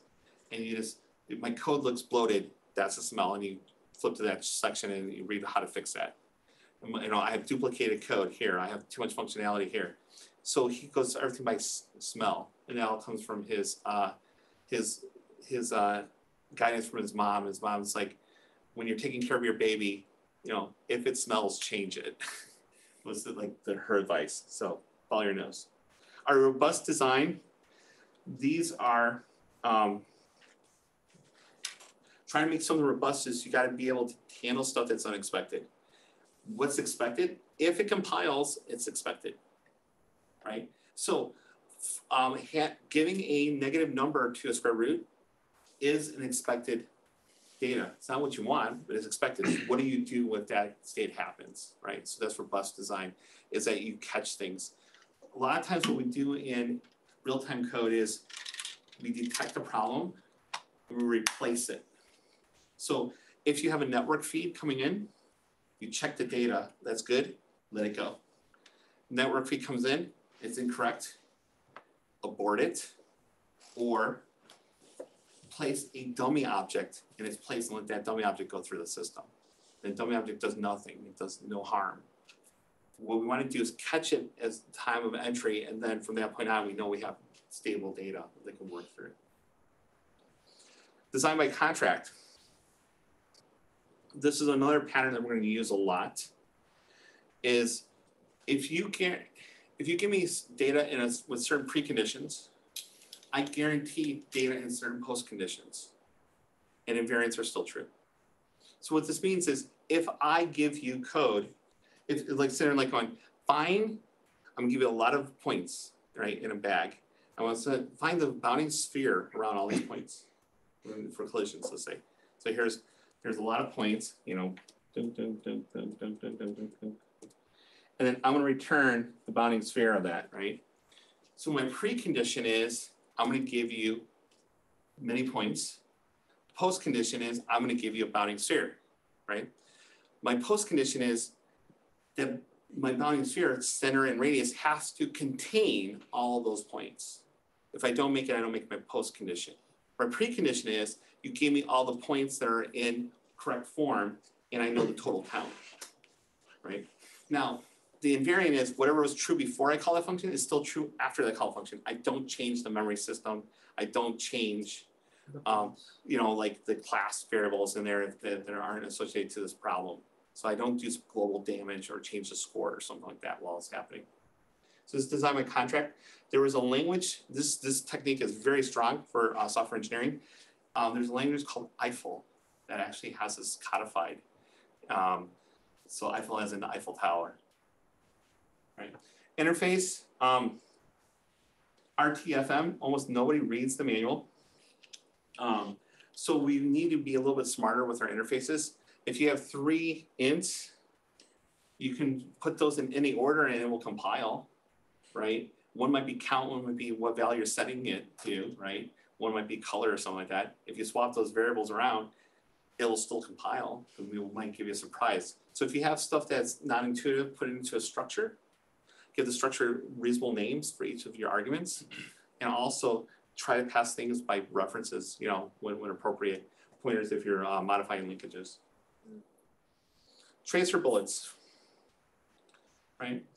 So tracer bullets come from the military concept that if you are um, shooting, you know, one of those big rifle, you know, machine guns, you know, there's a there's sights and you're supposed to slowly exhale and push the button and, and it shoots off the round. But the reality is when you're shooting at say a Jeep, somebody's shooting at you, right? You're not gonna like breathe in, make sure on, on an off heartbeat and push the button, right? You're getting shot at, you're crapping your pants, you're freaking out. So what they do is they tell you to shoot at the ground. And you go, and you shoot the and you follow the dirt, and you drive the dirt smoke to the Jeep, and then the Jeep goes away. At night, they put phosphor in there round. So every you know seventh or ninth round has a streak of light, green or, or red, and you just drive the lines towards your target and goes away. So we can do the same thing with coding. It's called tracer bullets for coding. And what we're going to do is, if you're going to estimate and try to develop something, you don't, you try to quickly develop the whole thing in one day. And what you do is like, oh man, there's a big math calculations. It's going to be, you know, take me two weeks to figure out. You say, here's this math function, return five. That's it. And you start doing this stuff. Well, I need this object here. And what you do quickly is you start to prototype boxes. So you have, here's a box, and then this guy talks to this box, and then you know this one also talks to here. You know, do I want this talking to this box, right? You're like, oh shit, I forgot. I need many of these, right? Well, now I need a factory that generates these. Well, by prototyping each of these boxes, you identify things and identify connections to things. And if you didn't prototype this, maybe that factory takes you three days. You didn't even estimate that. You know, so if you're just like looking at, well, I'm just looking at this connection, not the rest, you, you are missing a lot of things. So we, we do this tracer, we trace through the whole system as quickly as possible, and we put stubs in there. And it's just to identify classes or objects. That's called a tracer uh, bullet system. Really useful. We'll be doing that too. Test-driven development. Everybody probably has seen this already. Uh, test-driven development is the same technique that we did in Optimize, where I give you unit tests and you code to pass the unit test, right? How test-driven works for you, um, if you're writing stuff in the wild, is that you would um, try to do one functionality, one, one, one item with your class. Then you write the unit test, it fails. You turn around, write enough of code to get it to work, then you go to the next one. So you're constantly writing the test first, failing, and writing just enough of code to pass that test. And you keep rinsing and repeating and doing this. And what that guarantees is that you don't get lost in the weeds, you don't focus on other problems. If you need to write a test, then it's not a problem. You're not worried about it. You have minimal coverage of your whole code base because you have at least one test per interface on it. Um, it keeps you kind of focused. This technique is fantastic for small libraries, for small classes. This thing falls on its face when you deal with large systems because you can't write the test to cover all the interactions between all the different systems, right? So this is much more micro flavored. If you take this to extreme, some people think you can do a whole architecture this way. I've seen people have done it. I've actually reviewed code uh, in the industry who did this. It becomes spaghetti code because like the unit tests work, but good God, don't look underneath the hood to see how it's wired together because it's just functionally works, right? All right, skills. So here's here's kind of what I call the three legs to the table, right? And we have language, design, and process. So at first, when you graduate uh, on, on software engineering, you're like, okay, you're, you're at zero here on everything. And then you go full length here, this is a 10. Full length in architecture, that's a 10. Here's a 10. And we connect these points, this becomes the area, right?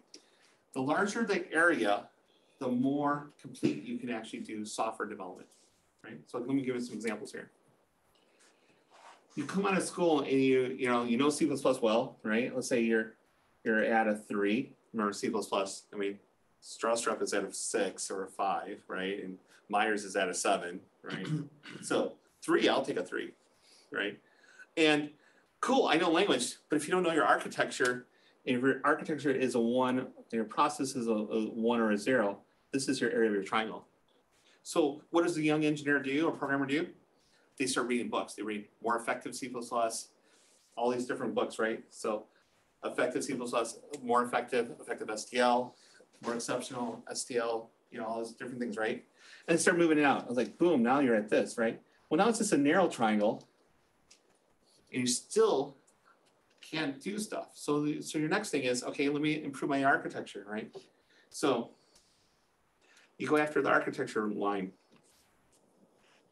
And, you know, adding refactoring, you know, design patterns, you know, um, you know, kind of, I'll say this design pattern UML, you move out to this part right here. So you can have a great project and just having architecture doesn't get you a lot of area, right? Because it can, you can have great architecture, but if it's not implemented correctly, you, your project still fails. So what you need is a little bit in all three directions at the same time. So process, pragmatic programmer, you know, understanding the different uh, Scrum and different Agile processes will give you a lot of um, process. And just by doing the first book in each one of these, this is what we'll go over in class, you're going to move your your line out quite a bit. And now your area of your triangle is a lot larger. And you can then kind of skew towards what area interests you more. So just doing the different processes, you know, design by contract, tracer bullets, you know, um, adding assertions, doing different things like this, that technique is going to get more stable code. You can move faster. You can start estimating your stuff better. So your pragmatic side starts moving up. Architecturing right with the right design patterns, real-time stuff will actually make your code design better. Then whatever language you're in, you can master that language make sure it's there. If you, as you learn these three legs, you can then either do projects completely solely. So an architect can do all three of these areas really well. Or you can start having teams where you can't code it enough in a day. You're doing the architecture and you have two or three programmers working for you or with you doing the implementation. But you have enough knowledge to oversee them and watch that. right? So these are three really good books to kind of get you on that direction. So Effective C++, plus Scott Meyers with the bad hair, uh, Refactoring, this book with the smells for architecture, and then Pragmatic Programmer, right? So those are kind of the quick and dirty way to get us um, kind of learning about uh, architecture. So any questions? All right, let's do a break, and uh, and we'll be back at seven. It's right now seven fourteen, and we'll come back at seven thirty. And then we'll go after, the- this is uh, our first PA. Cool. All right, thanks. Hey, you do me a favor? Can you unplug me? Ben, are you coming? Ben? Where's Ben? Huh? No, I'm just kidding. Because we we usually go out together. Yeah. uh, Why isn't he? I. Oh, he messaged me, uh, can we together he has something with his back, he said. Yeah, the same. Sciatica? Yeah. Yeah. It's, it's a, it- it's a, it's lower, it's like, it's like right here above your, like, your waist. It, it, it's where the nerves come in from each of your legs. Yeah, yeah, yeah. And some people who sit, it was, my, I don't have it, but they say it's like excruciating pain. Mm. Yeah. My dad had it, so. Yeah. Am I describing kind of close? Yeah. Yeah, it's the nerve which comes in and that gets pinched when you sit Pinch, down. yeah. Yeah. Now, if it's really bad, they, there's a lot of times exercises, if it's starting to, you can kind of get a little separation there Yeah. and, and kind of get Do it space so it can into- heal. No, so it can heal.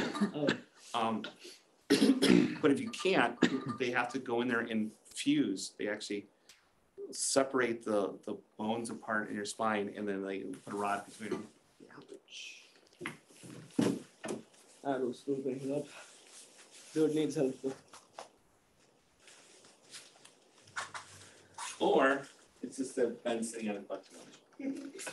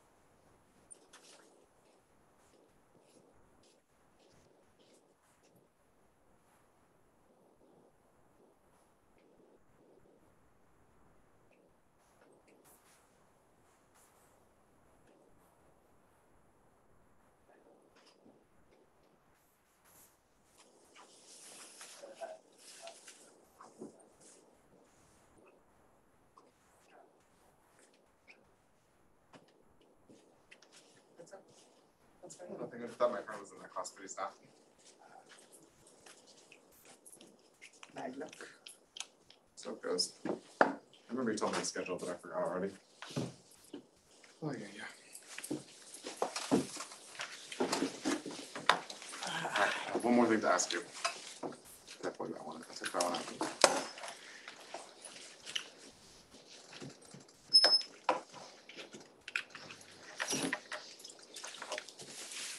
I'm gonna take a nap. Hmm? I'm gonna take a nap. You should. This ten minute naps are the most important ones. Yeah. So what do you teach right now? Uh, I teach pre-calc, Okay. So you're good at cal- calculus? when I try. Honors, Excel? Uh, it's mostly, the kid, the kids are mostly honors. I don't teach calc this year, thankfully. Teaching calc is trash. It is, the kids don't know shit and then you're expected to fix them. Um, did you- yeah, thank you. You have to follow college board's rules and everything. Uh, listen, I have juniors in, in pre-calc who can't add fractions. I got bigger problems. Yeah, no, I'm, I don't envy the calc teacher. It's, it's terrible.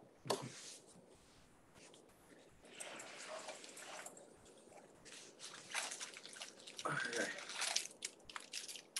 Luckily, it's spring break next week, so, Yeah, Next week, Rick? yeah, for us, it's next week. okay. Mm-hmm. So I'm getting the fuck out of It's here. supposed to be in last week.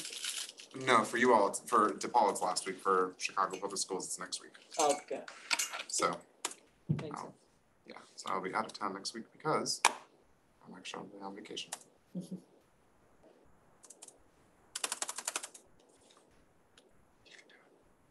Great.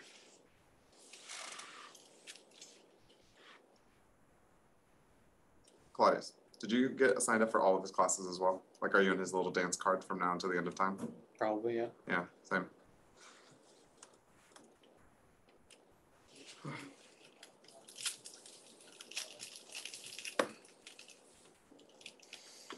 Hmm.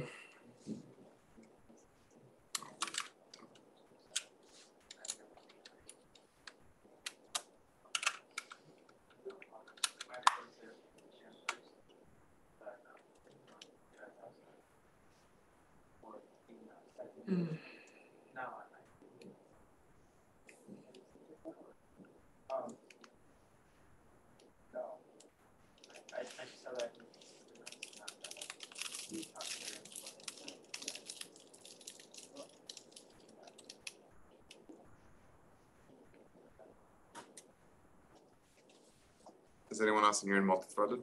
Yes. All of you? Most of us probably. Great. We're gonna too much of each other. Excellent.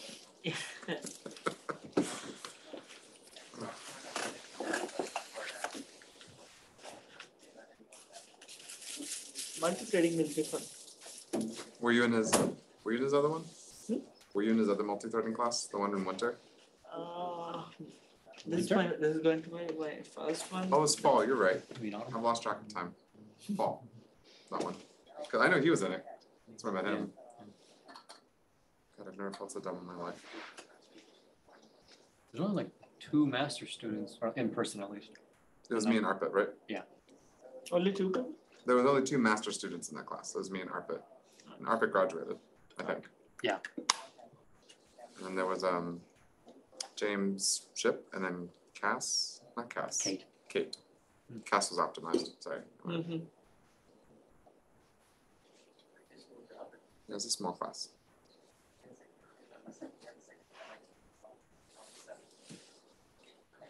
Yeah, I'm curious to see how the number of students in class drop off in these courses compared to like optimized or something. Honestly, if you've made it this far, you're probably gonna be in it to the end. Oh, oh, I think I think a lot of people will not drop the course; they'll just stop coming.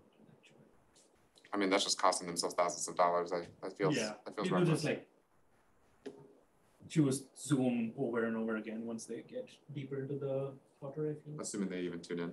Yeah. Yeah. I try to make myself come because if I'm watching at home, I am not paying attention and I know myself. Same. I'm just like, oh, my TV is there and I could be doing literally anything else.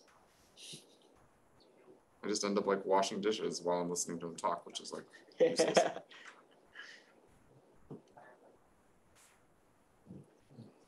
You better be not sleeping.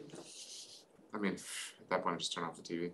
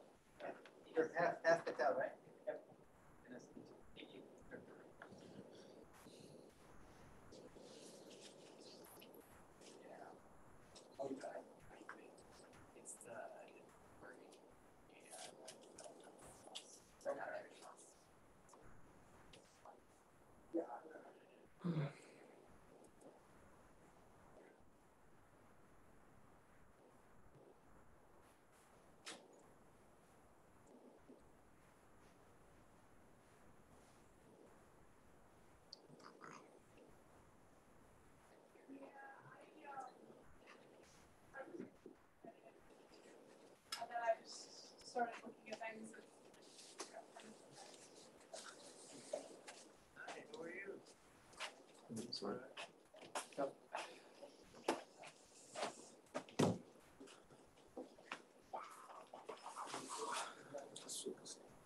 Same, so. So the yesterday. Two years of theory. Glad to hear that.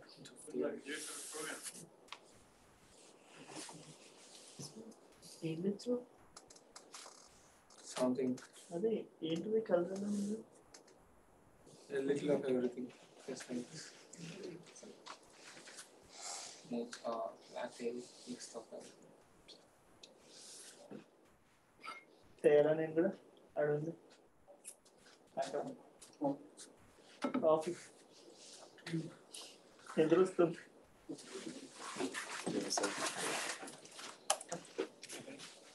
English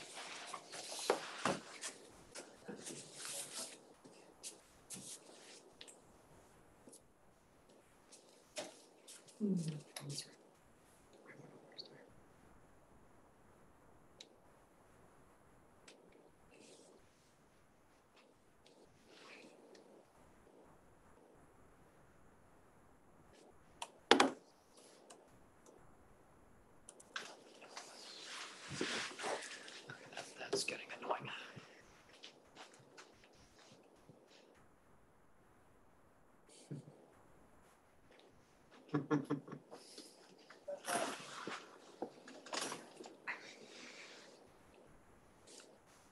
Did you say which DirectX we needed?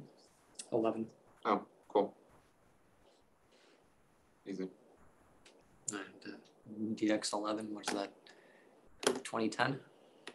Yeah, Maybe. almost every laptop should have that now. Hmm.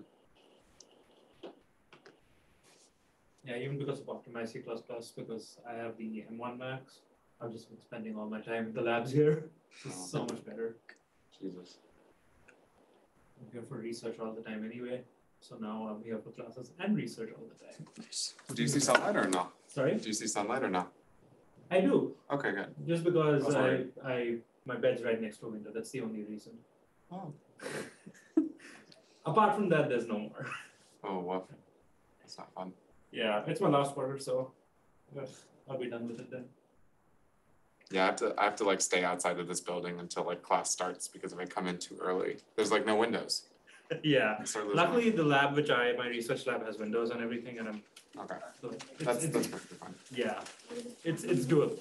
Yeah, but these rooms, I can't, yeah. it's much. Usually if I'm working on the classes, I'll just go to the lab on the ground floor, on the first floor. Yeah, There's windows there for sure. Yeah, a little too many over there, I feel. Because you always just hear people screaming in the Yeah, streets. yeah. I like the light, but not the sound. I have some chips too, if you want. No chips? Students, Man, I would love to do this in Vulkan, but metal. Concentration distracted, yeah. Did you say Vulkan? Yeah. Oh, I don't know anything about it. Is that a graphics engine, uh, I assume? API, API, yeah, just lower level than Yeah, but they just anything ever. Yeah, everything bigger It's in last the year it? Nah, how that. Takes like six hundred lines of code to draw a triangle. Is that, I mean, I'm assuming it does this very quickly. It can. The, the, the analogy is like OpenGL is like just a regular car and uh, Vulkan is like a uh, F1 car. Okay. So every little bit counts. Oh, my, bear, bear my. But if you do it right, it's But if you, if you, if you, if you do it right, you get Linux is the biggest proponent of Vulkan. Something else, that's, that's easy for me to do. That's, yeah.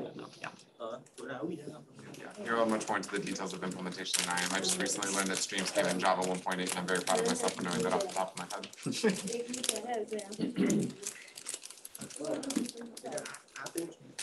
What's the minimum version of OpenGL we, we need for it to work?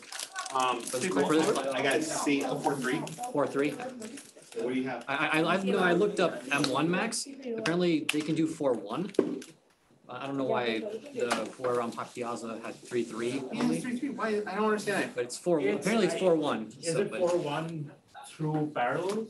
I, it- yeah, emulation, Well, think. it, here's, here's the catch. Because when I looked up that, it said Three, three, even online on the parallel website. Yeah. And I have an M1 Mac and mine also says interesting. Uh, I. I, I read I read forums say 4.1. Yeah. So. This is a sore part. This frustrates me so yeah. much, but I just think it's better. You, you guys aren't going to notice anything. I'm just going to have to be in another shitstorm for the next five weeks redoing everything. But uh, DirectX is probably the better way to go because you're getting what 11 Love in Levin, in, with, with, Yeah. with, uh, parallels, right?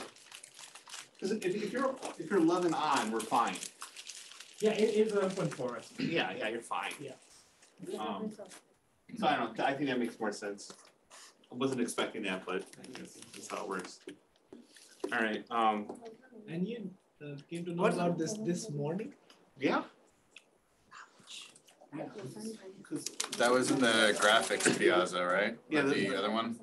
Yeah, uh, somebody did the Was it the, in this class or the other one? wasn't it this one? It might have been. And, uh, I don't know, for they, the- they're all I mean, merging right The now. other one does not have OpenGL. No, not, no, So then it must have been this one. Yeah. yeah.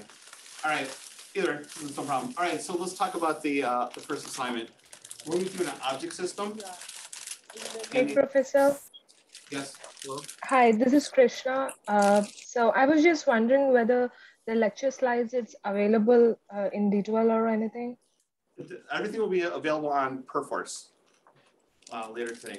Oh, okay. Uh, so can we have access to the slides in advance uh, to the class because it's easy for me to write the notes in the lecture slides rather than writing it anywhere else so that I can relate with the class more. Yeah, um, I will try to give it, I, you know, no guarantees, but I should be able to push it out there right before.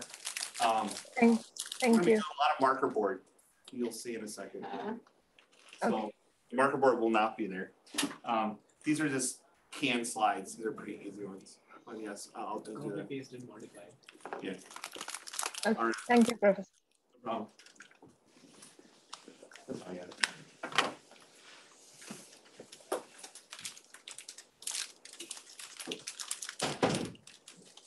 neighboring classes in theory, you know, I didn't want to hear.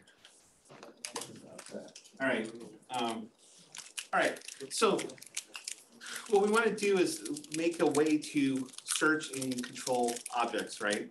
So, um, what is an object? It's just really if you really think about it, all an object is, and I got in long discussions about this with with my uh, fellow colleagues here. And um, what is what is computer science? What is uh, computer science in a nutshell, if you want to describe it all the way down to the bare bones, it's data structures, conditioning, moving, associating data structures.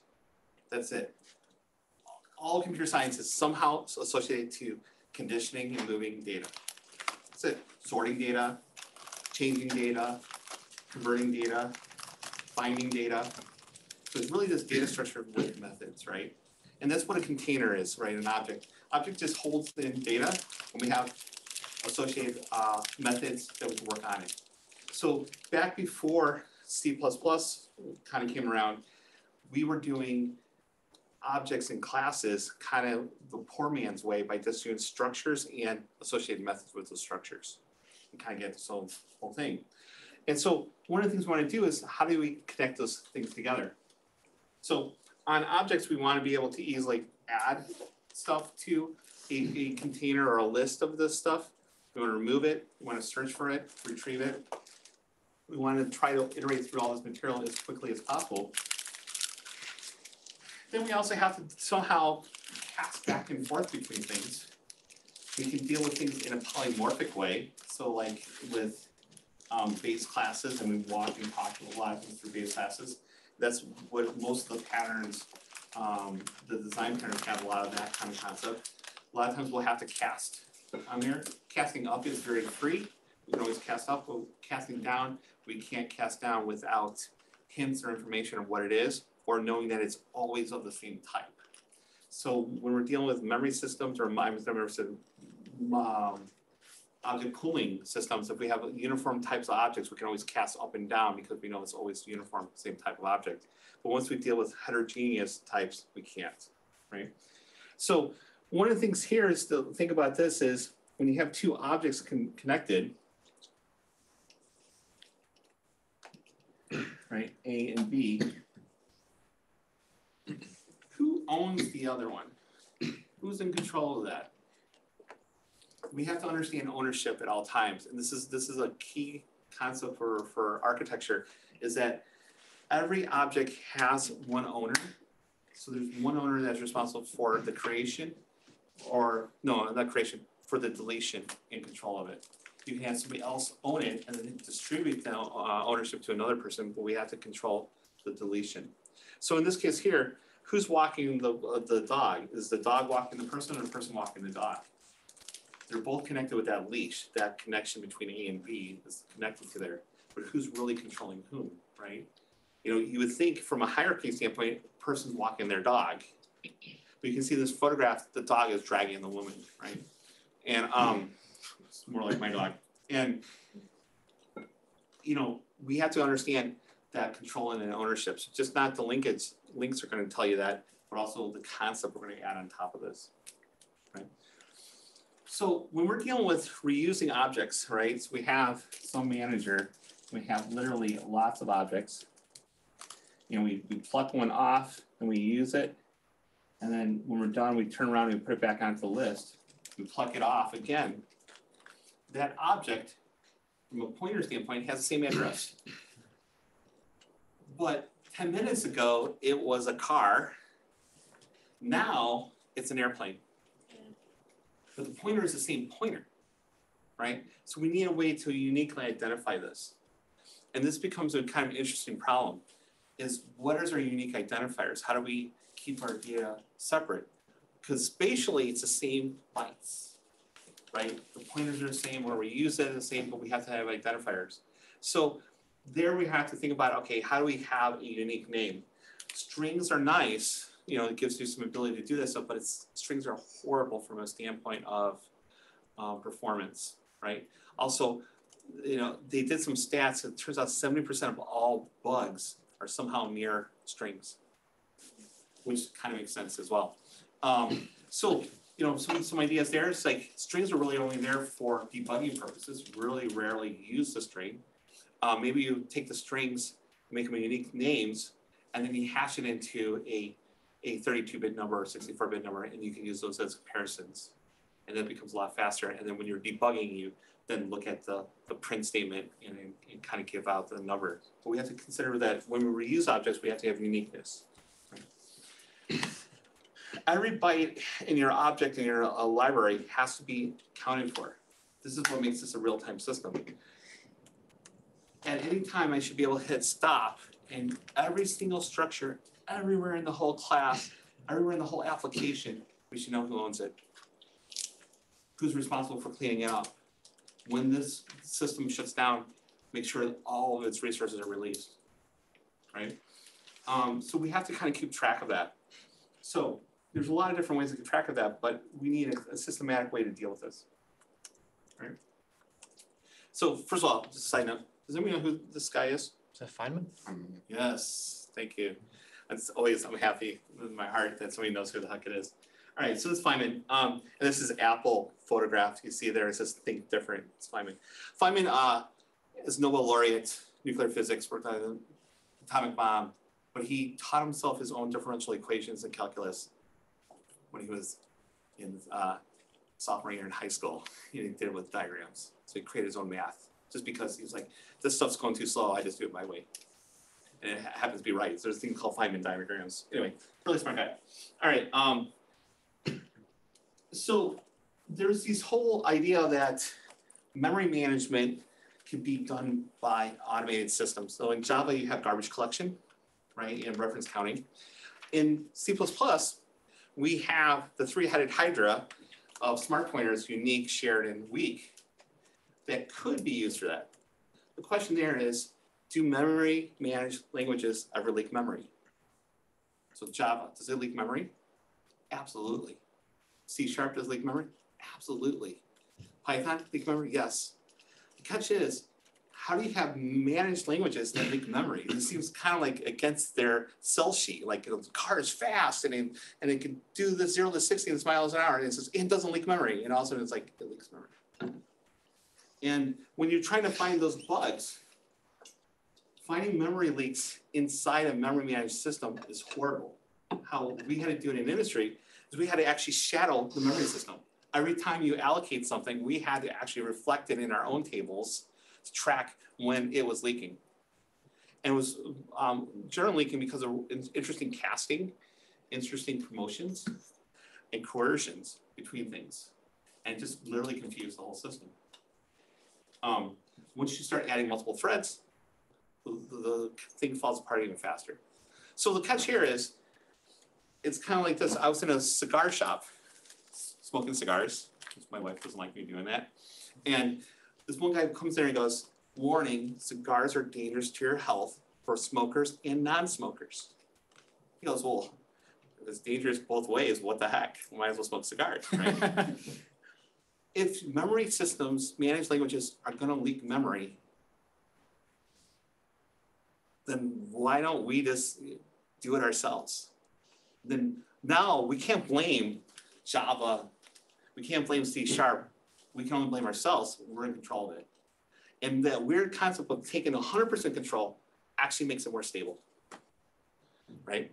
So what we wanna do is try to track all of our allocations and, and control this stuff, right? So FedEx is really an interesting animal it's a great um, study piece. Let's say you want to ship a package from Oakland, California to San Francisco, and it's 12 miles apart. I looked it up. Um, the box will go across the bridge, hop in an airplane, fly all the way to Memphis, get a different sticker, turn around, fly all the way back, go back across the bridge, and go to the new location. Right? Um, so the pros said every single package goes to Memphis, right? There's one location, everything's in there, they track everything. You know, they put all the complexity in this one honking location. And it's Memphis because it's subsidized, right? It's like this huge, like, come here, build factories, right? So that's why it's in Memphis. Um, but the cons are like, are you kidding me? We sent this package 2,000 miles to the center of the country, turn around and come back just to go 12 miles, right? It seems a little bit ridiculous, right? So it's not doing this distribution. Is this a good pattern?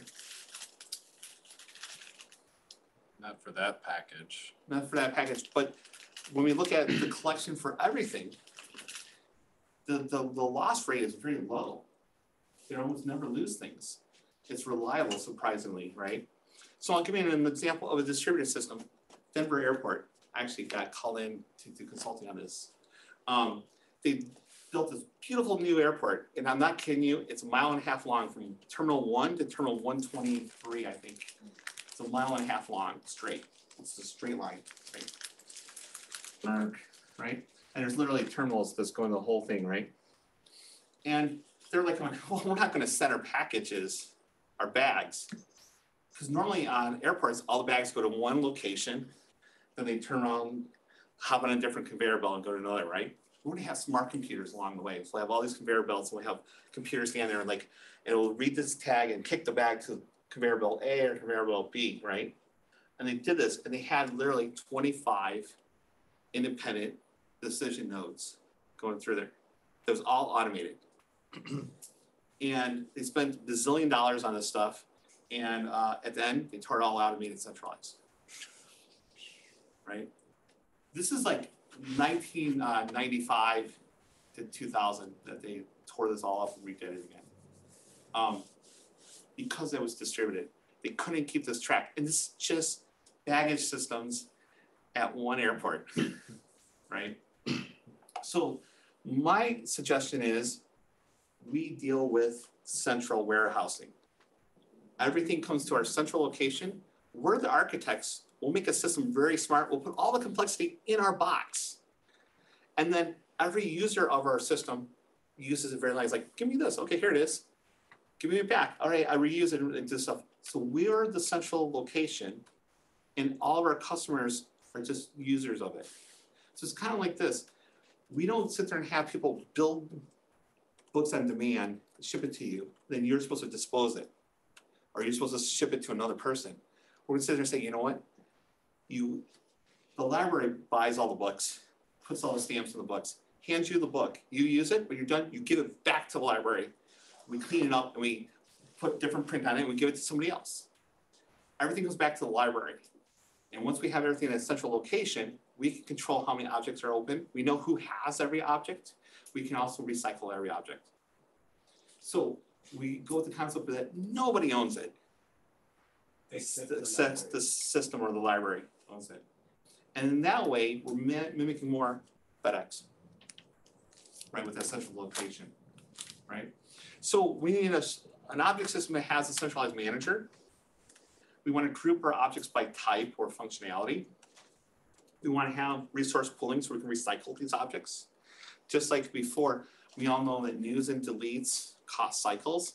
Well, if you create a thousand particles and you're only using ten particles at a time, you can recycle those and keep reusing those, and maybe only need ten total. It gives an illusion of a thousand? How do we relate objects together? We have the standard approaches, linked list, arrays, we can do hierarchy. We can kind of do any kind of associations between things. And there's also newer techniques, um, entity component modeling, where we actually decouple objects versus behaviors. We'll talk about that as well. And these things we have to keep in mind and how to deal with this, right? Well, then we have the next problem. So great, we got objects, but what if we want to transfer it on the network? We want to store it on a hard drive. Well, you want to pass it around. We have to serialize our data that's expanded from many objects into a, a data blob, and we can move that data blob around. So we need to serialize and deserialize the data as well, right? Then we also need the ability to clone things, right? We need the ability to um, duplicate things. So let's say we had a car uh, uh, in a video game, but we want five of these cars. Do we need to have five full models? We just need to cut and paste those things five times. So we can have one high-res model and draw it five times, right? But then what if we want to change the color? Well, we're just changing the color of each car, but there's still one car replicated five times with five different colors. Well, then each of those cars could be on different locations. So now we have this whole idea of replication scaling and cloning. Is it a full copy, deep copy? Is it a shallow copy, reference copy? So we need to kind of control of all that. So you're starting to see we need a larger, larger, complex system. Anything can be thrown at our, our real-time system, right? And um, we need a way to also compartmentalize things into hierarchies, right? So here's kind of where we're going after is we need, you know, to solve all these problems at once, which is quite a lot. And we need the ability to, in our system, to have a very small footprint. So our cost to manage this stuff can't be a lot. You know, if we're managing, you know, say four floats or three floats, we don't want to spend, you know, 20 integers worth of or pointers worth of data to manage three. That's a bad ratio. We want our, our ratio to be small and we're managing larger things, right? We want it easy to add and remove, right? So some of the API considerations, we need to be able to create, add and remove. We need a will ability to debug this. And we need a way to add um, associations without changing the data. So the idea like this, let's say you have a block of data, right? So here's your data. And now you want to send a linked list, you just associate it to a linked list, right? You link. You want it onto a hash map, you just put it to a hash map node, so forth. And because you're doing inheritance, everything below is still the same. Your connections are, are above there, are just being linked. So some kind of mixing scenario, right? So let's talk about the problem, right?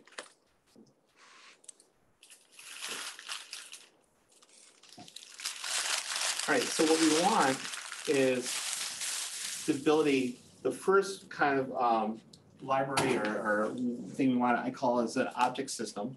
And what we want to do is really just allow us to have arbitrary hierarchy. Because if we can do this,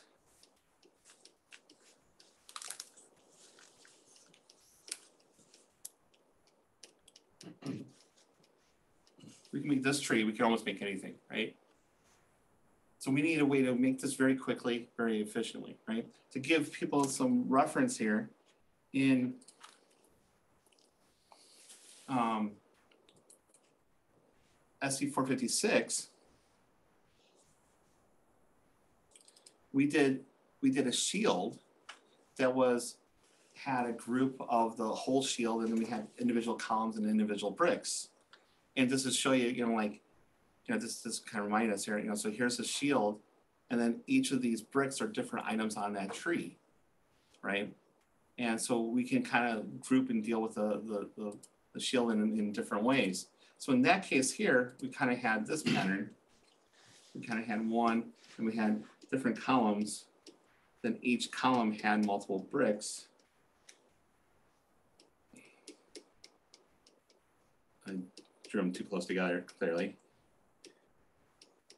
Right, and so that would be that, tree for the, the shield. Right, so what we want is ability to have hierarchy. We don't know any rule to this. You might have three children, you might have one children, you might have, you know, five children. Um, we can turn around just add one there. We might sit there and take this tree here.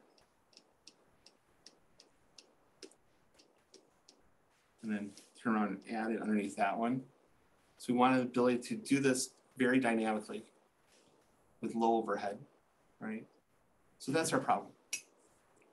So now we start playing market board game what if, right? So what are some ideas of how to deal with this? Composite? Composite, right? And so so you, you go to your toolbox and go composite, which is, is, is, is probably the first step to go in here. So here's a composite um, pattern. Right? And the composite pattern is basically a component with a leaf and a composite. So component, everybody is a component. If you have a node here that has no child, no children, it's a leaf. And a composite has multiple children. Those children are also components, right? So here. And the idea of this is that you can represent part of the hierarchy or the whole hierarchy. And we can, everybody is a component, right? So it's uniform, everybody's a component, right? So you can basically create trees this way. And how you would do this is you would create a tree and then you would attach it to the next one and then this one gets graded and then it gets attached to that. So you kind of attach from the bottom up in clusters, right? Um, so this this this is the composite pattern. and This is kind of the first item to there. Turns out this becomes a little muddier, this this diagram right here, because we're gonna have multiple components, right? Multiple components are owned by the composite, right? And so um, let's let me finish this and I'll go to more diagrams on this. So we can what's nice about a composite pattern, it has hierarchy. We can actually structurally set up relationships like here's the parent this parent is, holds this data or this is the whatever we do the parent reflects down to the child right so let's let's give an example let's say we have a boat right aircraft carrier and now i put an airplane on there right so here's an airplane really bad airplane right so we have an aircraft carrier put an airplane on top of it now, if I rotate the boat, I also rotate the airplane because it's attached to it, right? So we have uh, aircraft carrier, right? And we have plane. So if anything I do to the aircraft carrier, this thing propagates and also affects the plane, right? But then I can remove the plane and move it around on the deck of this or even fly it off. And now I can disconnect this and now the plane is its own object, right? So we can, this hierarchy model gives us a lot of flexibility and things we can't even consider yet. And we can also imply rules on this, which is really cool. Right? And one of the nice things is we have it all as a tree. We can look at it as from this point down, or we can look at it as individual items. But everybody is a component, and so it's uniform, right? Um, so let's talk about the reality on this. Here's where uh, composites patterns fall apart. So we have here a component, right? And then off of this is a leaf and a composite, right? But the composite owns multiple components, right? So this is what what type of di diamond is this? Filled. Uh, filled, right. So this is composition here, and it can own many of these, right? So we now have inheritance, and we have that stupid composite that gives us so much trouble. It owns multiple components. But how do you do a composite? Well, traditionally, what people do is they make this a dynamic array. So inside the composite, they say, I have a dynamic array, array list, STL vector, right? That grows. Oh my God, holy cow. Whenever you see the terms automatic container, scream. That means slow, that's not real time. Because what happens is the containers are like, good job, CS person, it works. Bad job, real time people, because it sucks. and it's conservative and it's grossly there. And when you allocate things, it sometimes adds more space. And then when it fills it up, it fills it up. When you're not using it, sometimes it doesn't give the space back. Right? And this is a, a linchpin of slowness. Right? Well, yes, but I know how to use STL, I know how to use containers correctly. Well, guess what? You could, but sometimes you can also use it incorrectly. And the best defense is just don't use it, right? So in SE456, we went with this model, which is a little bit better.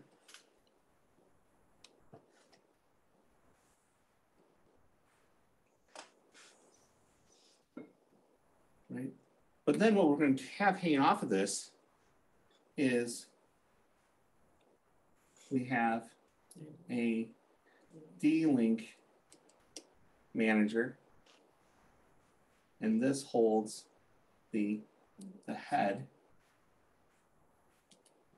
Sit down, my right is worse standing. Um, and it's bad to start. All right. Um, PO head. And this manages D-Links. Is this next and previous. Right. And what we can do on this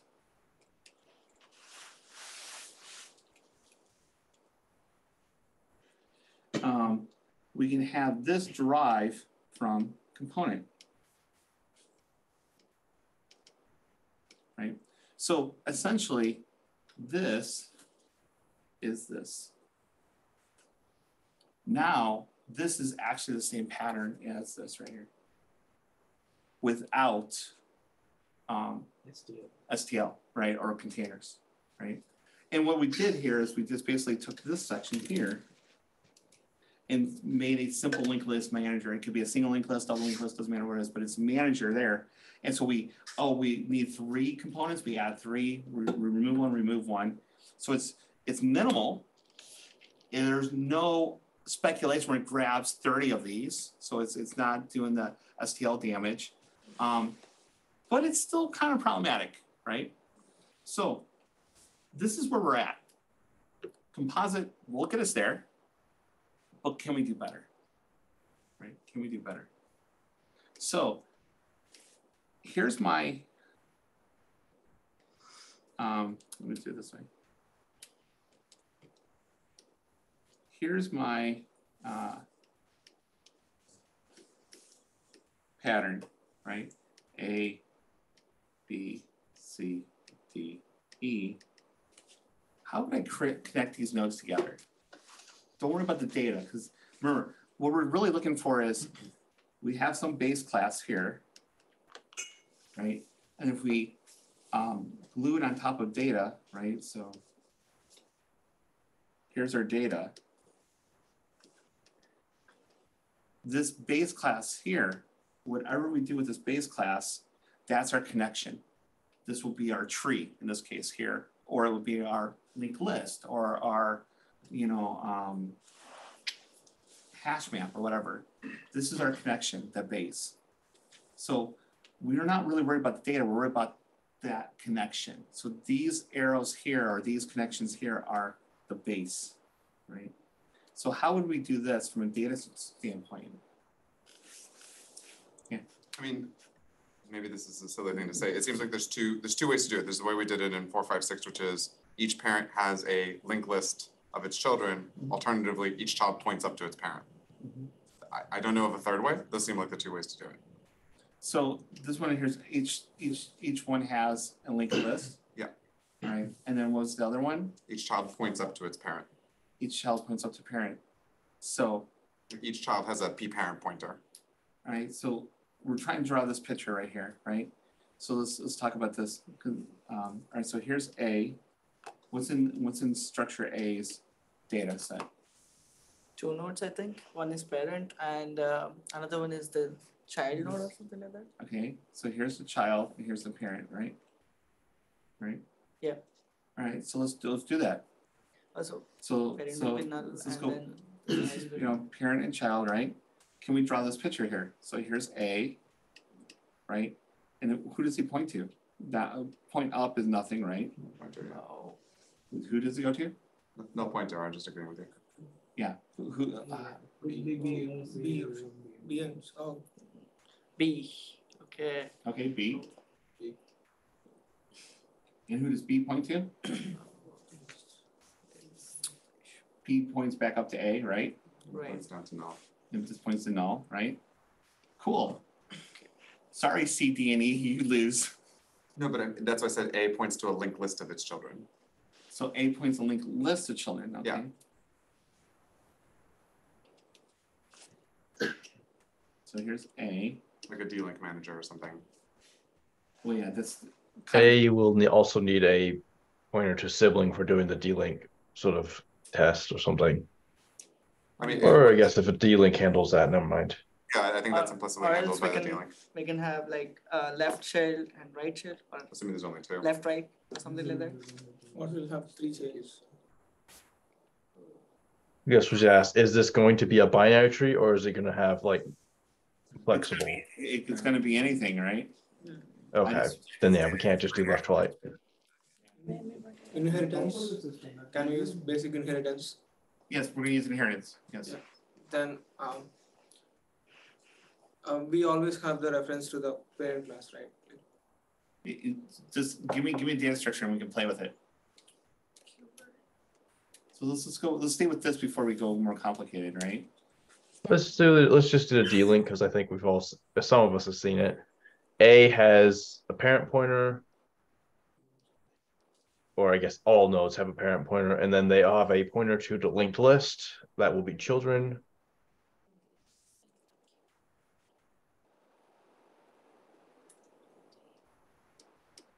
Like that, Yeah.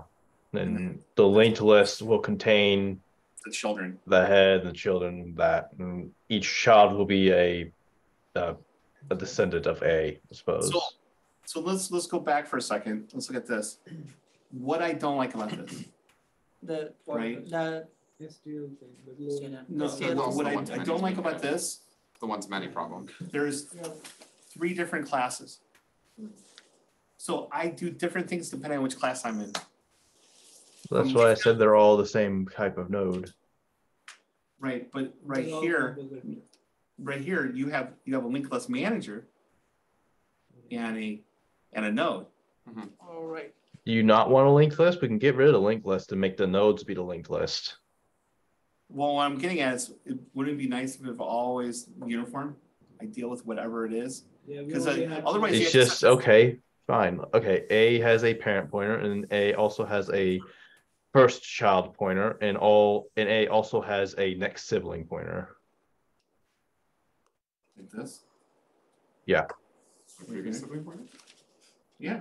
This- That way you can always go up, down, or I guess Okay, so let's, let's. within the let's- layer. Let's, let's stay with this. So we'll call this the Alex approach. Right? All right, so here we would have, um, we change the color, so do it here, orange. You know, A, its first child would be B, it goes to C. C's first child goes to D, goes to E. Right? This points back, this points back, this points back, this points back, this goes to null, this goes to null, this goes to zero, right? And these go to zero, these go to zero. E goes to zero and E goes to null. To the E right. next to, I just, I drew all the picture, oh, this one, Yeah, E, Yep. E next is null. yeah. So that works, right? And what's nice about this, it's one node. Right? So no matter where we are, got one node, right? So, you know, um, so I call it parent-child sibling, right? That's what the, the homework assignment is called, parent-child sibling, so this is next sibling. Right, because it's at the same level, right? But there's, there's, there's a small nuance here. Right? We have to be able to add and remove. Yep. Right? So now I'm gonna give you a degenerate one. A. Um.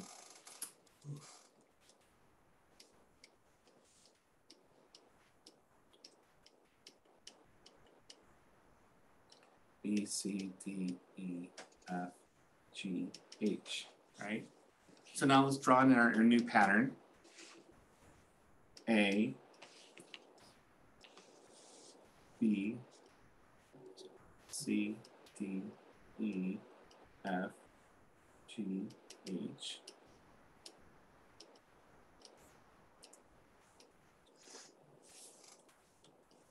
Is the, is the sibling thing a singly linked list or a doubly linked list?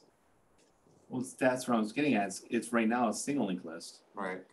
right? And then I've made a single linked list because I don't use because if it's not ordered, it's not much value in being able to go backwards.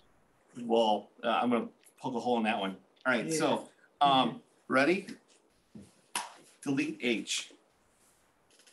Now you have to loop through to G. Okay, you go, okay, wait a minute, you go, I have to find G. You have to go up to the parent, go down to the eldest, go no, no, no, no, no, found it, it was this one, now fix G. And as this becomes one million, mm-hmm. you're gonna wish to hell you had a back pointer, mm-hmm. right? So doubly linked list. then. So a twist is then it makes sense to do this. Parent, child, next sibling, and then previous sibling.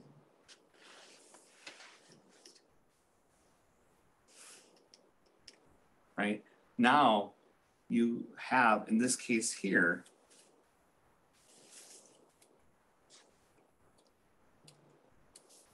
when you get rid of this, you can, oops, when you get rid of this, you can then go back to G and fix it.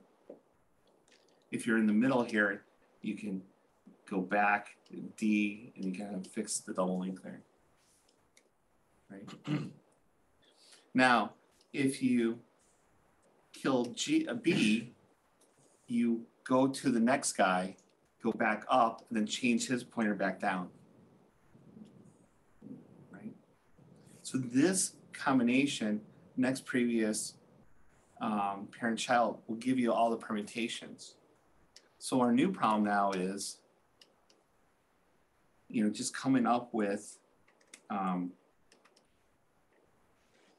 you know, did we code this up correctly for all the different edge conditions that can happen? Wait, So is- So is the expected, like, if I kill, Hold on a let me give some names yeah, let's here. get some names here before we start talking nonsense. And they'll have their parent pointers, so they'll. This looks familiar. So like, let's say C has some children hanging off of Basically it. the first uh, linked list design pattern. So what, um, where are we staying? Let's I'm say C has some children hanging off of it. Right, it's got some stuff. And I, the call comes in, I need you to delete C. I mean, C. Do we kill the children? Right, so that, that becomes an architecture issue, right? Yeah, I'm just wondering what the expected behavior is. Well, That becomes an architecture decision, right? Yeah, because like technically. I guess we traverse down to the uh, leaf node and then and delete uh, them till top. There is no leaf node, they're all on the same node. I mean, other than likely just go until it's null. So which, which That one? behavior has not been defined yet. You have to define it, you're an architect. So every decision you make has consequences, right? So, So, but you have to make a decision, right? I personally think that you should always delete the ch- children up. So, you know, no, I won't use that analogy, that would get me in trouble. Um, um, Trim the whole branch. There's a better analogy. Yeah. So what you want to do is you want to do. I, I caught myself that time. All right. So um, to me, I think a good architectural issue is that I can delete any node as long as it doesn't have children. But if it does have children, it should go, nope, stop, debug right. assert. You know, or you know, then you can sit there and say, hey, do I have children? Then through you it. just give the kick the problem back to the user saying, hey, I want you to delete uh, you know, this like here, let's imagine you had a uh, a car, um, a transport semi truck that had three cars on it, and you say delete the semi. Like, wait a minute, there's three cars on this, right? I'm not going to delete the semi. There's three cars on it. So they're like going, oh, there's three cars. You just say, no, I can't. Three cars, or no, I can't. I have children. So to do like. And then print- they'll, they'll let the person. Uh, so return they, error code. no, you know, I just wouldn't allow that to happen. You would crash. Uh, no, I would give it back, right? Um, but the the catch here is you control the front door. Remember, this is the lowest level. You can put a wrapper above that saying, "Oh, delete this node," and you can sit there and say, "And children or not children," and then you can iterate through and kill all the children, or you can sit there and say, "Only, you know, don't do the children." Maybe you just want to kill. Maybe you just want to kill C and move everybody up. You know what I mean? Yeah. That might be a, a functionality. So this is where you're the architect. You get to decide. I, I I have a philosophical question, I guess. Who owns C? Because A does not point directly to C, B points directly to C. And so like, is the rationale like, A owns it. Yeah. because it's the root, because it's the root of the tree? Yeah. Okay, Yeah, that's how I would look at it. Even if it's, no matter how nested it is. No, I just ownership isn't arrows. Ownership is concepts. Hmm. Right? A, I would say here, in this case here, we have A, and then we have B, C, D, E, and then underneath is F and G, right? Um, I would say A owns everything. Okay. Right? And then, oh, C owns F and G. Right? So to me, ownership is is children, right? Now, children in this case here, A's children, if I could have had four child pointers, I would have had four child pointers. Mm-hmm. But I don't because I want to be efficient with my my pointer linkages, right? So we made this this double link list by siblings and double link list vertically. And if you think about it, all we did was we just said, hey, here's a box, we need to go up and down it, and here's a box we need to go right and left of it. It's just two dimensionals, right? But this one little widget here gives us really a flexibility to do anything. So if we wanted to, we can sit there and say, everything is flat off of the, you know, I would always kind of go with this. You always have a null um, root, right? And then you can sit there and say, I have tons, tons of children, right? I just have a bazillion children, right? Well, in this case here, what do you really have? You have a double link list, right? I have my root, and then I have all my children going vertically. Well, I really just have a double link list vertically, right? So from this standpoint here, really all you have is a double link list. But we can then start doing this as a hierarchy and kind of creating all kind of combi- combinations, adding to the tree, removing from the tree. And then later we can add iterators. So we iterate top down, bottom up on the tree. Because remember, whatever weird scheme we come up with, we can always add an iterator to it, right? And the iterator is what we'll use in our application. Complexity, we do whatever magic it is to make the iterator once, and we're done with it. We never look at it again, right? So now, if you were going to search for an object, right? Right, and and it's it was a little bit more of a balance. Let's say this, like more like a balanced tree, right?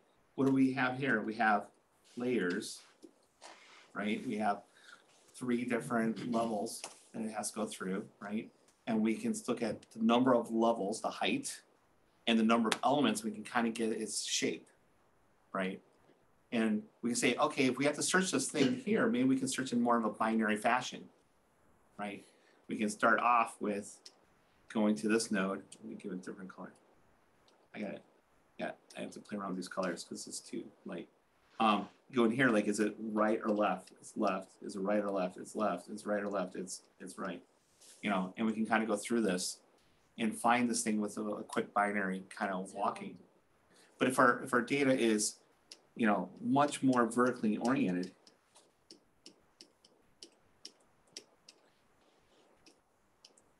right? Now we're going to be doing more compares to get to that node versus scenario, just because it's not square, right? So a useful thing is to know how many levels and what's our total count, just to give us a, a feel like on, geez, this thing's to be like hard to search or it's going to be easy to search, right? If this thing has searchable attributes, right? Um, but maybe it's added into the tree in an unsorted way, so it doesn't matter.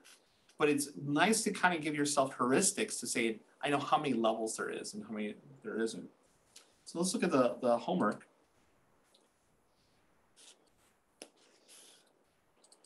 So, um, so here's the PA um.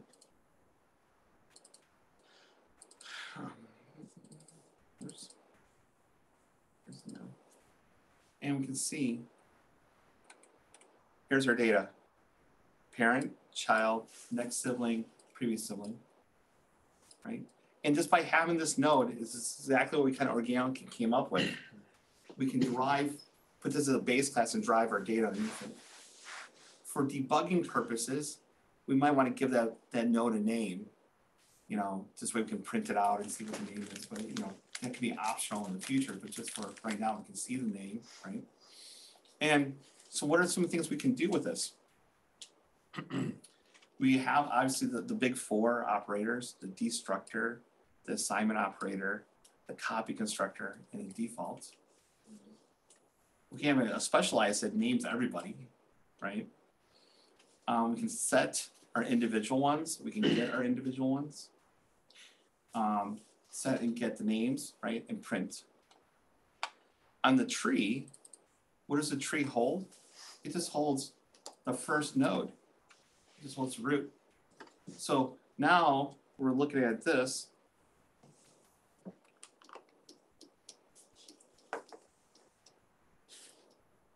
Right? Here's our tree. Tree. It just points to the first root, that's all. And then maybe I'll have some info here, right? Just, you know, some stats. And now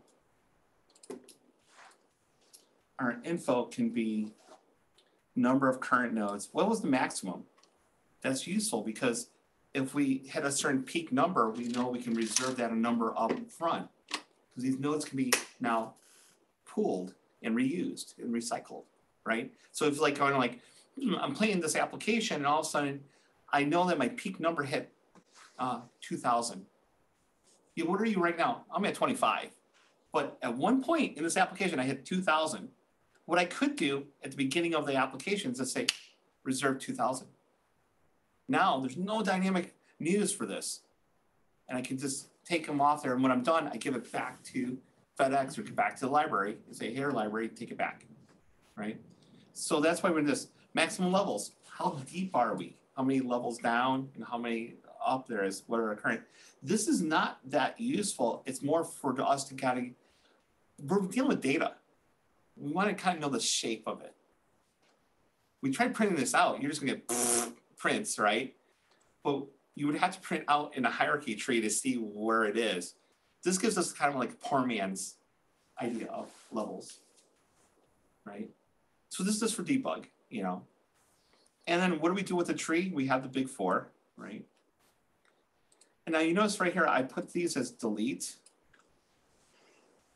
And the reason why I have these as delete is that I'm just saying for, for our library, our first pass of the library, we're not going to copy the full tree over or assign the full tree over. There's one tree, that's it, right? And these trees are becoming the manager holder, the way the, the, the things actually manage, right? So get the root, insert. Now, insert and remove, right?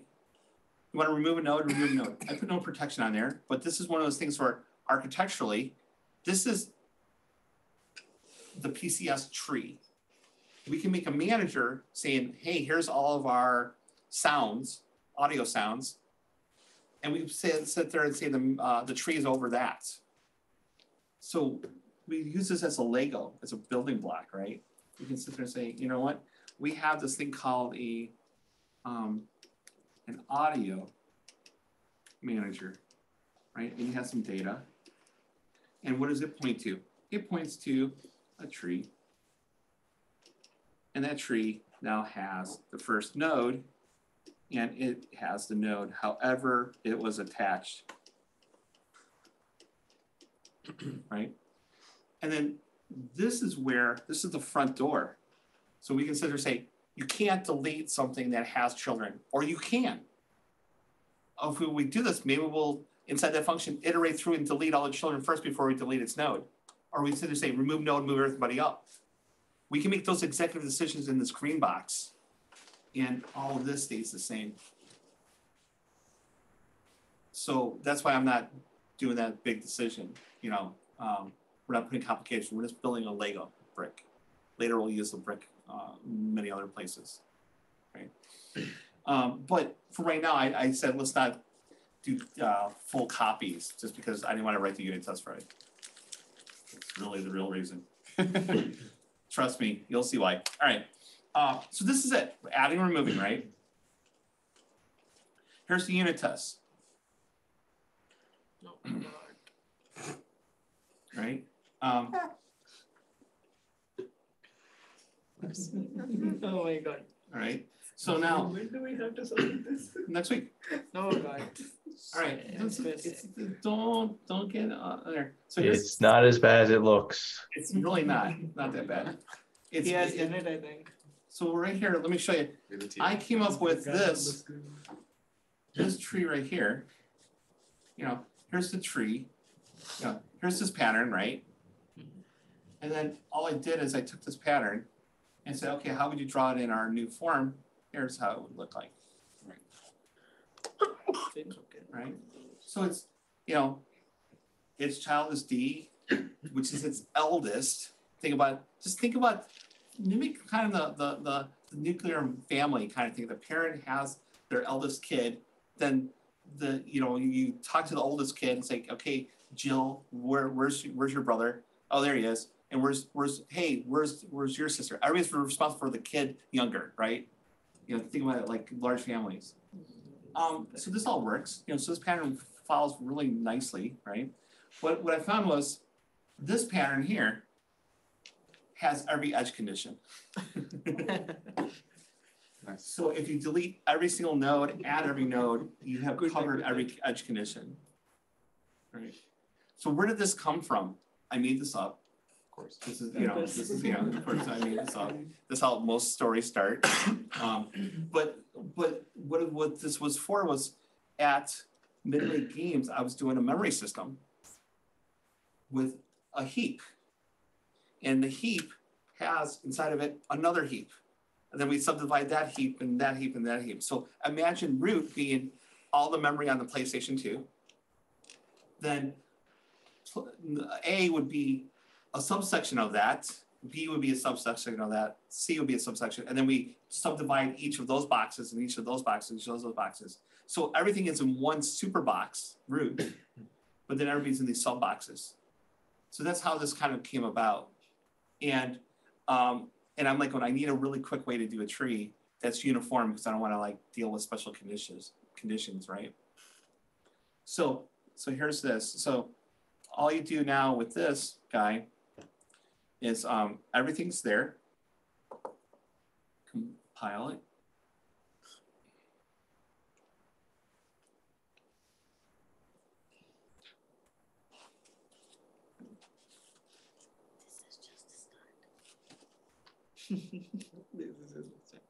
right? And so you see out of 80 tests, one passed, right? Hey, congrats, you got one. And then, no, it's, it's version number. So, and then. That still just- counts for something. That still counts. You're one eightieth done. I gave you a freebie. Um, and if you just double click, it tells you what line failed, right? Just double click, Mm, the same as all my tests, right? Um, so you can, you know, obviously don't go through all these up front. You would turn on, test, and slowly increment it, right? So now here's sketch. Um, that's debug. Here's release. Right, same thing. No, sixty-four. Only one. No, no, we're not doing sixty-four bit. I, I, I said, I don't think there was a good return in sixty-four academically. I will talk about it if you want, but it's really not. You guys don't need more distraction. You got eighty tests, not enough, right? All right, so, all right, so there it is, right? So both fail, right? So now let's look at the um, solution. Now, I never give you something that I don't do. That's my promise. Um, so here it is working. Wouldn't it be pity if it failed the version check? No, It'll work. Steven. What if your PC is bad? It will fail that too. No points at. Then you get All right, so eighty pass. Well, what I did here is eight thousand three hundred individual checks. Right, so that means I hand wrote eight thousand different steps to check.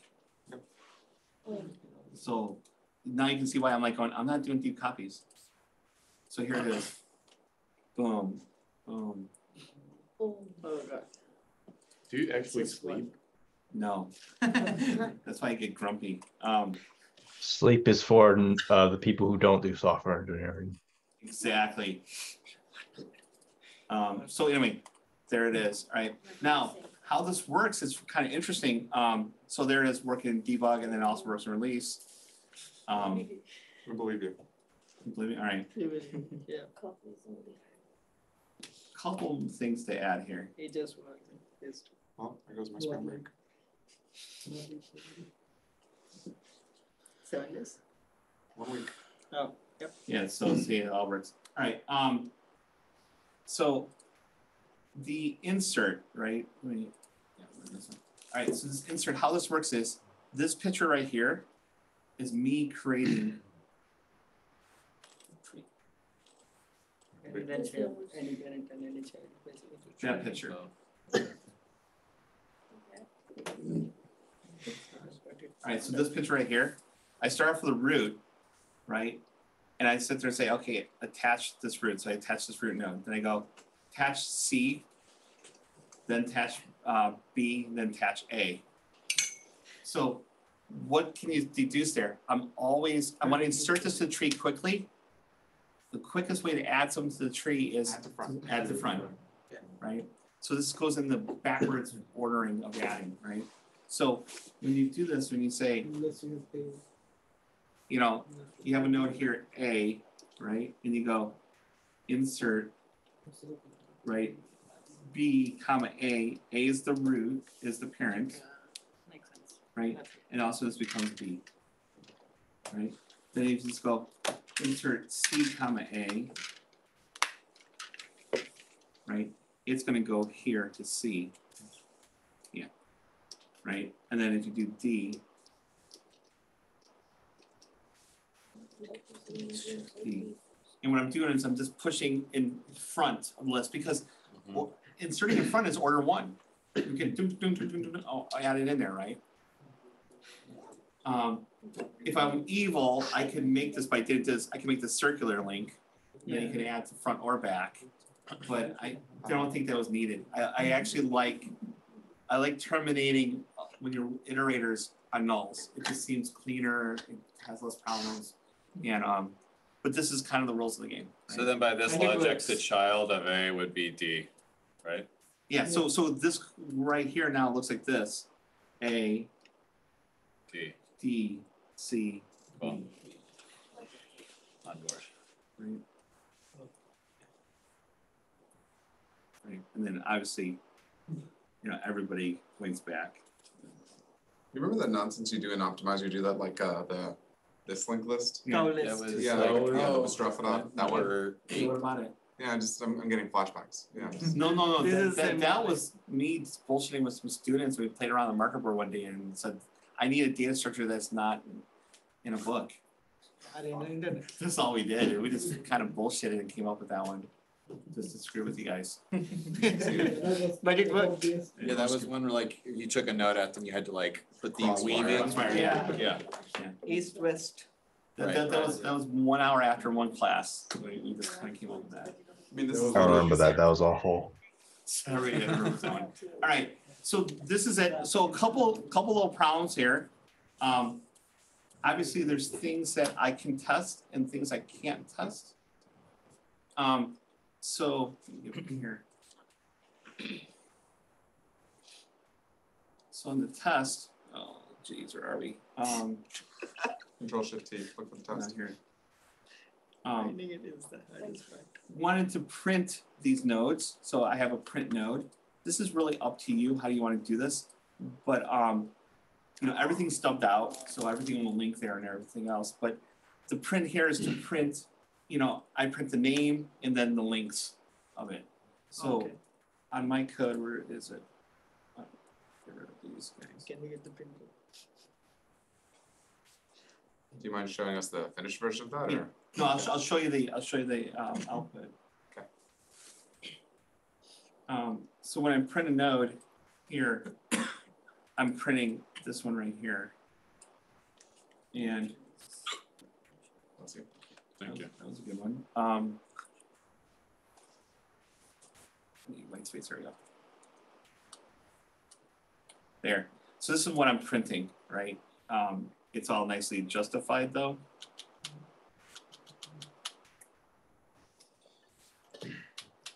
It would drive me nuts that these things are aligned. Alright, so what I do for print is I print the name of the node I'm currently on, my my address, and then it points to a parent, right? Here's the parent. Then I go to that parent and say, hey, what is your name? And print its name here. Because remember, we never debug pointers. I hope to hell we know that. We never ever if you if you did a linked list, I said, find your mistake, and if you're writing down numbers, you know, and then then you recompile it. Guess what happens? The numbers change, Yeah. right? And you're constantly. First thing you do is you give every single node a name, and you print its name. And it goes previous points to new name. You know, print its name.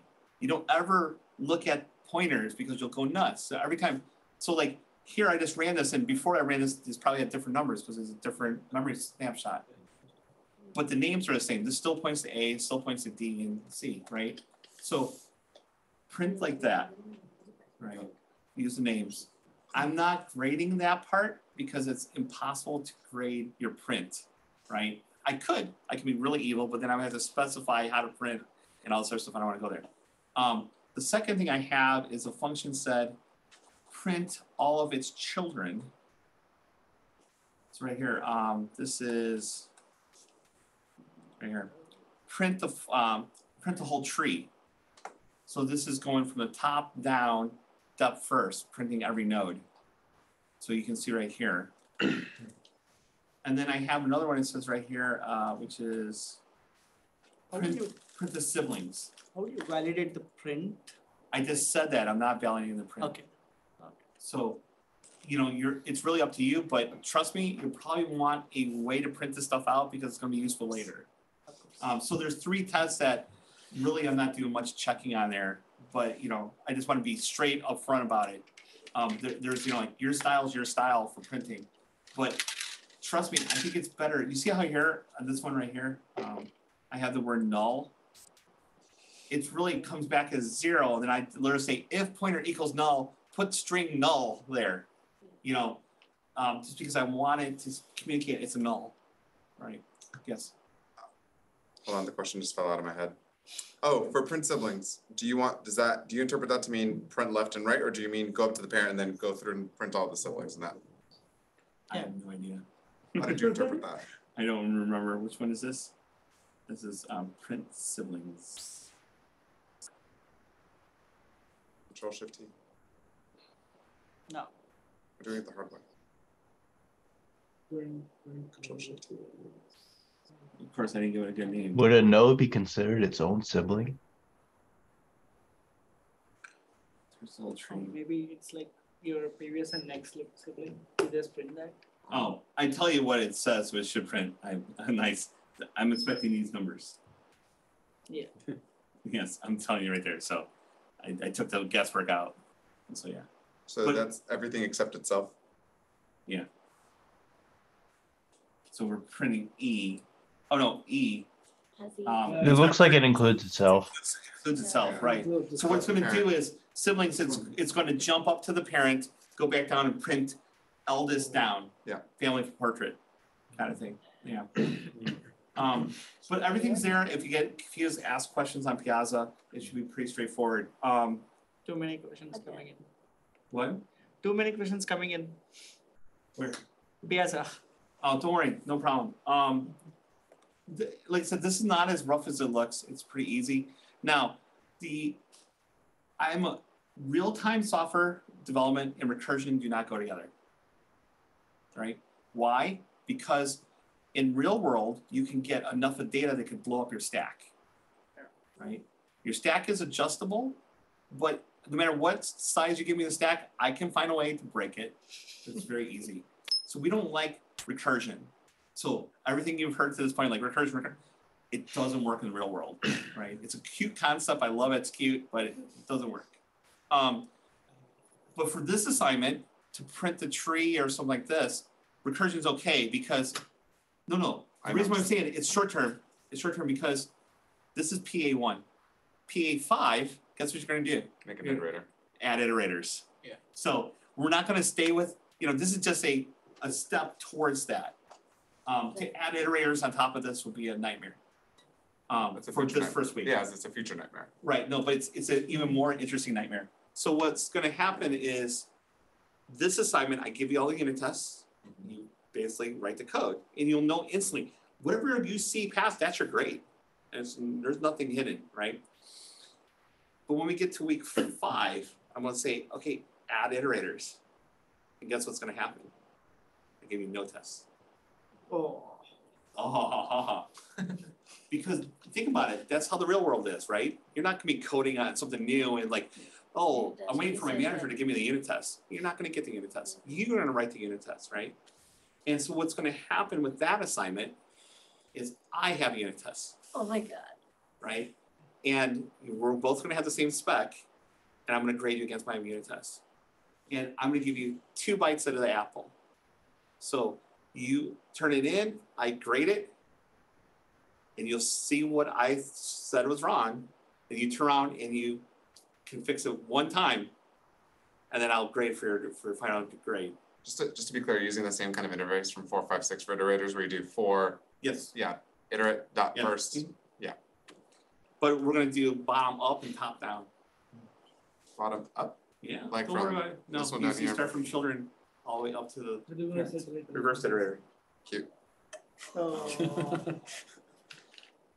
So do you, are, do you gonna specify like breadth first, depth first, or? It, it's it's gonna be depth first yeah, for forward. Okay. Only And for for reverse? Reverse is it's You it's have the uh, parent, it's breadth bottom going up. Here, I'll show you what I mean. It's not it's not that it's, I guess it is. Could you go back to your picture from the, from the From the PA? PA, yeah. That's a, it's more realistic. All right, um, this Yeah, is, I can't draw on this, right? So I, I understand the forward iterator, what would the reverse? Uh, Like a smithing tool, right? Yes. Yeah, this would be a fun ride. I can see it right now. All right. Um, Hotkeys. Hotkeys. He doesn't like it. Command shift, right. command shift S. All right, ready? Okay. so forward iterator. Um, let's get a different color here.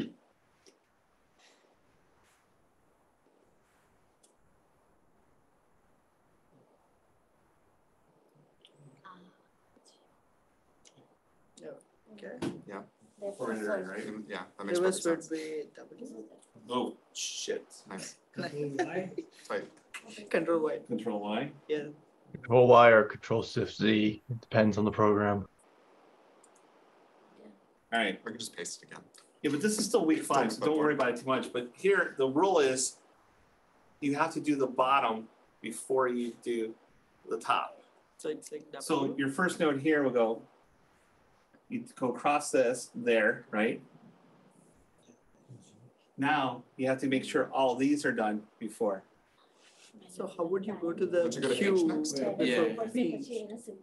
We can't, right? US next, buddy. Okay. Hmm? Oh, P next, okay. So the, the rule, the rule is you can do any leaf has to be done before the parent. Right? So this would start off this way here. Right? And then No. C? Yeah. Okay. So it's just the forward iterator in reverse? essentially, yeah. Okay. Yeah, so the forward iterator goes That'd this great. way. It's- That's your hint, by the way. Yeah. Now, but there's there's there's a subtlety here which is we have a way more interesting. You did already do Right. this, I think. No, this is not. So here's where it's going to get a lot harder. Right? So then this kind of goes this way across there, then this. Remember, this is done before we get to S. S is done before we get to P. P is done before we get to this. Now, all of this is done before we get to R, right? So it's just reversing it. But here's the catch. You have to be able to do the reverse iterator straight. You can't pre-process the whole tree and then reverse it.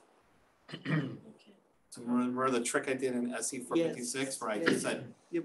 I said, fuck it, it's late at night, we're doing it this way. We can't do that. So in in Space Invaders class, I did a forward iterator and I kept the reverse. Yeah. And then I turned around and said, okay, go the other way. So I, I, I walked the whole iteration once and I walked it the other way to get the links, right? We're not doing that. As you add a node, you add the forward and reverse at the same time. Sounds funny. Which is, which is just, Oh, I see. So, mean, so you're you- You always, changed the add so our data structure has next previous, I mean, parent child, next previous sibling, and it has forward reverse. Hmm. We had two pointers there, and when you add a node, you fill in forward reverse. When you remove a node, you fill, fix forward and reverse. Oh, okay. And so then your iterators just become walking those links, which real work is Get then adding and removing those those nodes. So that's what I'm saying. That's that's that's week five. That's Um, why. That's why it's not now. Not now. All right. So um, the last part is the environment, and this just happened today. So um, so I'm really thinking that we would go with DirectX just because I have at least two or more students are in this category. Not on their fault. It's effing uh, Apple. I'm, Steve Jobs wasn't dead. You know, he might be going there anyway if he uh, if I got my hands on this. This is so wrong. You don't you don't remove. You don't go like you know what? Let's go back to 1985 interface on brand new machines. That this, this sounds wrong. All right, so I'm mad at him. Um, anyway, uh, so what I have is an environmental um, PA, and this environmental PA is to make sure everything's environment set up correctly. And so the first one is you just run the compiler test, and you cut and paste those two headers in there, just to, you know, in, in this. So this thing runs. Headers? Yeah, what, what headers are you Which referring headers? I'm showing you. I'm this this this one right here. Um, you kind of paste that into um, a text file. Sure. Right. So both for debug and release. The reason why this is not working is where I I, I Yeah. talked about this date. Right. They they said 2022 with 2019 libraries. They kind of f barred it. So you, you're asking us to post the results into Yes. a notepad or something? Okay. Yeah. Makes sense. So, um, so here's the, here's the test, um, environment test. You're gonna do the, run the first thing and you know, you're, you're gonna have this output, it passed, right? And then release, it passed. So this way I know your compiler is set up correctly with two thousand and twenty-two. The second thing is print out the, um, what OpenGL and DirectX now. So I'm gonna have to append this, but and DirectX, just run that program that uh GL view setup Yeah. and just run it for uh, DirectX. Well, you run it and you get cut and paste the DirectX part and OpenGL part. So this way I can get a history. I think I know my answer, but now I gotta make sure everybody has the right DirectX version. Right? I checked the OpenGL version, but not the DirectX. Well, no, I have to check yeah, yeah, but this is for this assignment. And the last one, it now will work for most of you, but a couple of you it won't work. Is just to do the, the graphics test to see if this thing builds and runs. So if this doesn't work for some of you, um, and I can tell because your OpenGL will say three point three or something like that, then, then you don't have to do this part, but everybody else just, just run the graphics thing just to get a snapshot of it, that's it. And so I want this turned in, uh, Saturday. It's, it's literally, if it just takes you more than fifteen minutes, you're doing something wrong. Right? Um, and this other assignment, so everything is due, how this works is all assignments are always due on Saturday. Right? So today is Tuesday, Wednesday, Thursday, Friday, Saturday, Sunday, Monday, right? So this is where we're at, and homework is always due here, right? So you get Almost two weeks. for, yeah, this is the first week. You get, you get, this first week is always the easy one, right? Um, so the, right here, this is the PA zero, which is that cut and paste those, those pictures. This is B PA one. Now, homework is always due Saturday night, so this way it's easy to remember. And for programmers, what is night? Night means birds are chirping in the morning the next day, right? So that's what night means, because there's no concept midnight. Come on, you're like you're just on your second Mountain Dew. You're only just starting to code, right? Um, so. No, man. I go to bed at eleven. Fuck that. Well, they, you're, you're lucky because I, I, I, you know, think they're just going at eleven, Right. right? Uh, that five AM wake up is The rough. last five weeks of the not. previous quarter, everything is finished at like four AM, five AM, six Yeah, AM. that's right. Y'all So. Sunday morning at seven in the morning, We don't do that here. Sunday morning at seven, I'll, I'll, I'll look at it, to grade it. Everything is done up front. If something happens, where you guys had kind of, kind of landed in the club now, so I'm not gonna like go. If, if you have a bad week or something, just email me, we, we can work out, because what I want is you to get this done. If I don't put the pressure on you now, some of you will be lazy and they're like, oh shit, Ed, I can't do, I'm like, I don't got it, you know, my memory isn't done because that's hard and this isn't done and this isn't, you know, don't worry, I can cram my graphics done in like the last week. No, you can't. So I'm keeping the pressure on you guys, but if something happens, just email me, you know, yeah, private piazza me and we can, we can work out something. Um, but try to keep it going on, on, uh, every week. Next week is math system. So we're gonna go right into just talking about the library and doing the math. And what's nice about the math system, you don't really have to know much math because I'm gonna go through all the math you need to know. Probably gonna summarize all of Andre's class in one, one class. Um, and it will make a lot more sense. So You'll be, be in good shape then. Um, the, the, what, what's, what's nice about the math class, the math assignment is no matter how complicated math is in programming, you just have to code it up correctly once. and then, then you call it a hundred times, right? And so this is not fair when you go to interviews and they ask you a math question and they go, here's the marker, go to the board and do this. And you're like going, well, normally I, I have books open, I have websites or, you know, you know, you know, Lisa over there is really good at math. She has a math degree. She just does math functions for us. You know, like that's how the real world works. But they interview you saying, all right, here it is, vector calc, do it. I'm like, I don't use calc, you know, um, so, I get it. so the math, don't be intimidated, it's pretty easy going. We're not doing SIMD, you know, SIMD. You can do that on your own, but don't do it here, cause you, you know, I gotta pull you back, cause you're gonna run on oxygen. If we did SIMD before, could we copy paste? Uh, if it works. I mean, I remember it working. No, It was a but- year but ago. if you don't understand, things are gonna change. So, um. Let's comment it out. Yeah, this, yeah, who, who can say it's a big project? Um, we're also gonna have proxies. Um, and we're gonna do, we'll, I'll share that later, a, a, a mathematical reduction on complexity with a hidden system. Which is really kind of cool, yes. Uh, what are the release and due dates for PA two? So it's Everything's on Saturday. the next Tuesday and the due date is the next. It- It's, it becomes every week. It, I don't know if you can see the pattern yet, but kind of, kind of have a pattern. Saw it. Yeah. The reason is I can't remember this stuff myself, so that's why I always do Saturday. That's And I was, I was doing Friday and I was like going, I wanted to go out Friday and it's date night, blah, blah, blah. And, you know, mom's in from out of town, and I'm like, going, all right, fine, screw it, Saturday. And I'm like going, so, so this way I can just lose my Sunday dealing with this. And then Friday night, I start getting the thousand piazza posts like, I haven't started, how the hell do you do this? And all this other stuff, you know?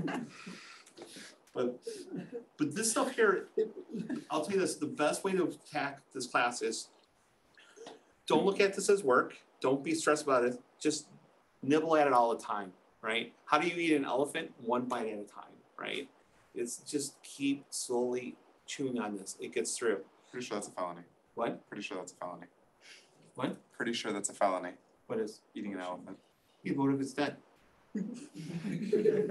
Were you gonna let all that meat go to waste? I know. I like this like casual sub- apology for poaching. This is not smooth, right? Like That's somebody hit it with a car, right? Things happen. I mean, that's how the. I- and I- If someone I hit don't an elephant with a car, elephant the would be car would be crashed. The elephant would be fine. It's like cars. If you break an elephant's leg, how do you, how does the elephant live anymore? You have to put it down. Yes. Yeah. I was in Ireland and they had an elephant. Yeah, an elephant in Ireland. Yeah. Oh, okay. Yeah, and, and uh, um, they got it, the zoo broke down, the train broke and crashed, and so the elephant died at this town. And so the guy felt bad, so he wanted to give the elephant a cemetery. Well, you know, you have to drag the elephant across the town, you had to dig a hole that's big enough to fit an elephant. So it's one hell of a cemetery, so he built a whole cemetery around this elephant. So it's called Elephant Cemetery. Oh, no, it's in France, sorry. Okay. Yeah, France, sorry. Get my elephant stories mixed up. All right. Anything else? Welcome aboard. Water's nice. Um, and then some of you I'll see tomorrow, multi-threading. We can do multiple processors. You know. I don't know how hard that will be. What? I don't know how hard that will be. The Oh, this is first the easy one. This is the e- easy multi-threading class. Yes. Are both classes gonna have assignments due Saturday nights? Yes. Yes. I can't keep it straight. No, actually, I have three classes. All three are due Saturday night. Uh, optimized to this. It'd be due on Saturday, even if it was, even if the class was on Saturday. Like read- Everything's due on Saturday. We No, no, forms. No, he's talking about the redos, I think. Yeah. the Oh, there's no read- redos. There will be no redos here. There's no redos. You you guys broke me. Whoever was in the class last quarter broke me. Oh, no. There's no more redos. You guys have beaten me that out of me. I Oh, have no, students did bitching at me. I give everybody redos on every assignment and extra credit, and it's like going, but I did it wrong, so can I do it again? I'm like, no. I'm like, how much, like, no. So that, so anyway, no more redos. You guys taught me. No more redos. Yeah, my answer to that when kids ask is no, because I hate you. And this is a good answer. You see what? No, because I hate you. You're not allowed to say that. I didn't hit them. You're allowed to say that with your high school students? I mean, they obviously, I say it in that tone so they know I'm joking, but yes. Jeez. Wow. I mean, they say it to me, I think it's only fair. But, but they mean it. I mean, they can't prove I don't. Wow, oh, wow, that's amazing. Okay, well, good job. Yeah, I learned that from one of my old coworkers, like, shh, I hate you. She's just so dramatic about it and so clearly clownish. She's very funny with it. Yeah, but if you ever were in a legal room and they did a transcript, it would look really bad. It would. Yeah. Yeah, I'm sure someone reported me. Yeah. Oh, wow. All right, well, that's. I haven't been sued yet. I'm not gonna follow that pattern. All right, well, thanks, everybody. Thank you. Thank you. Have a nice night, everyone. Thank you. Alex.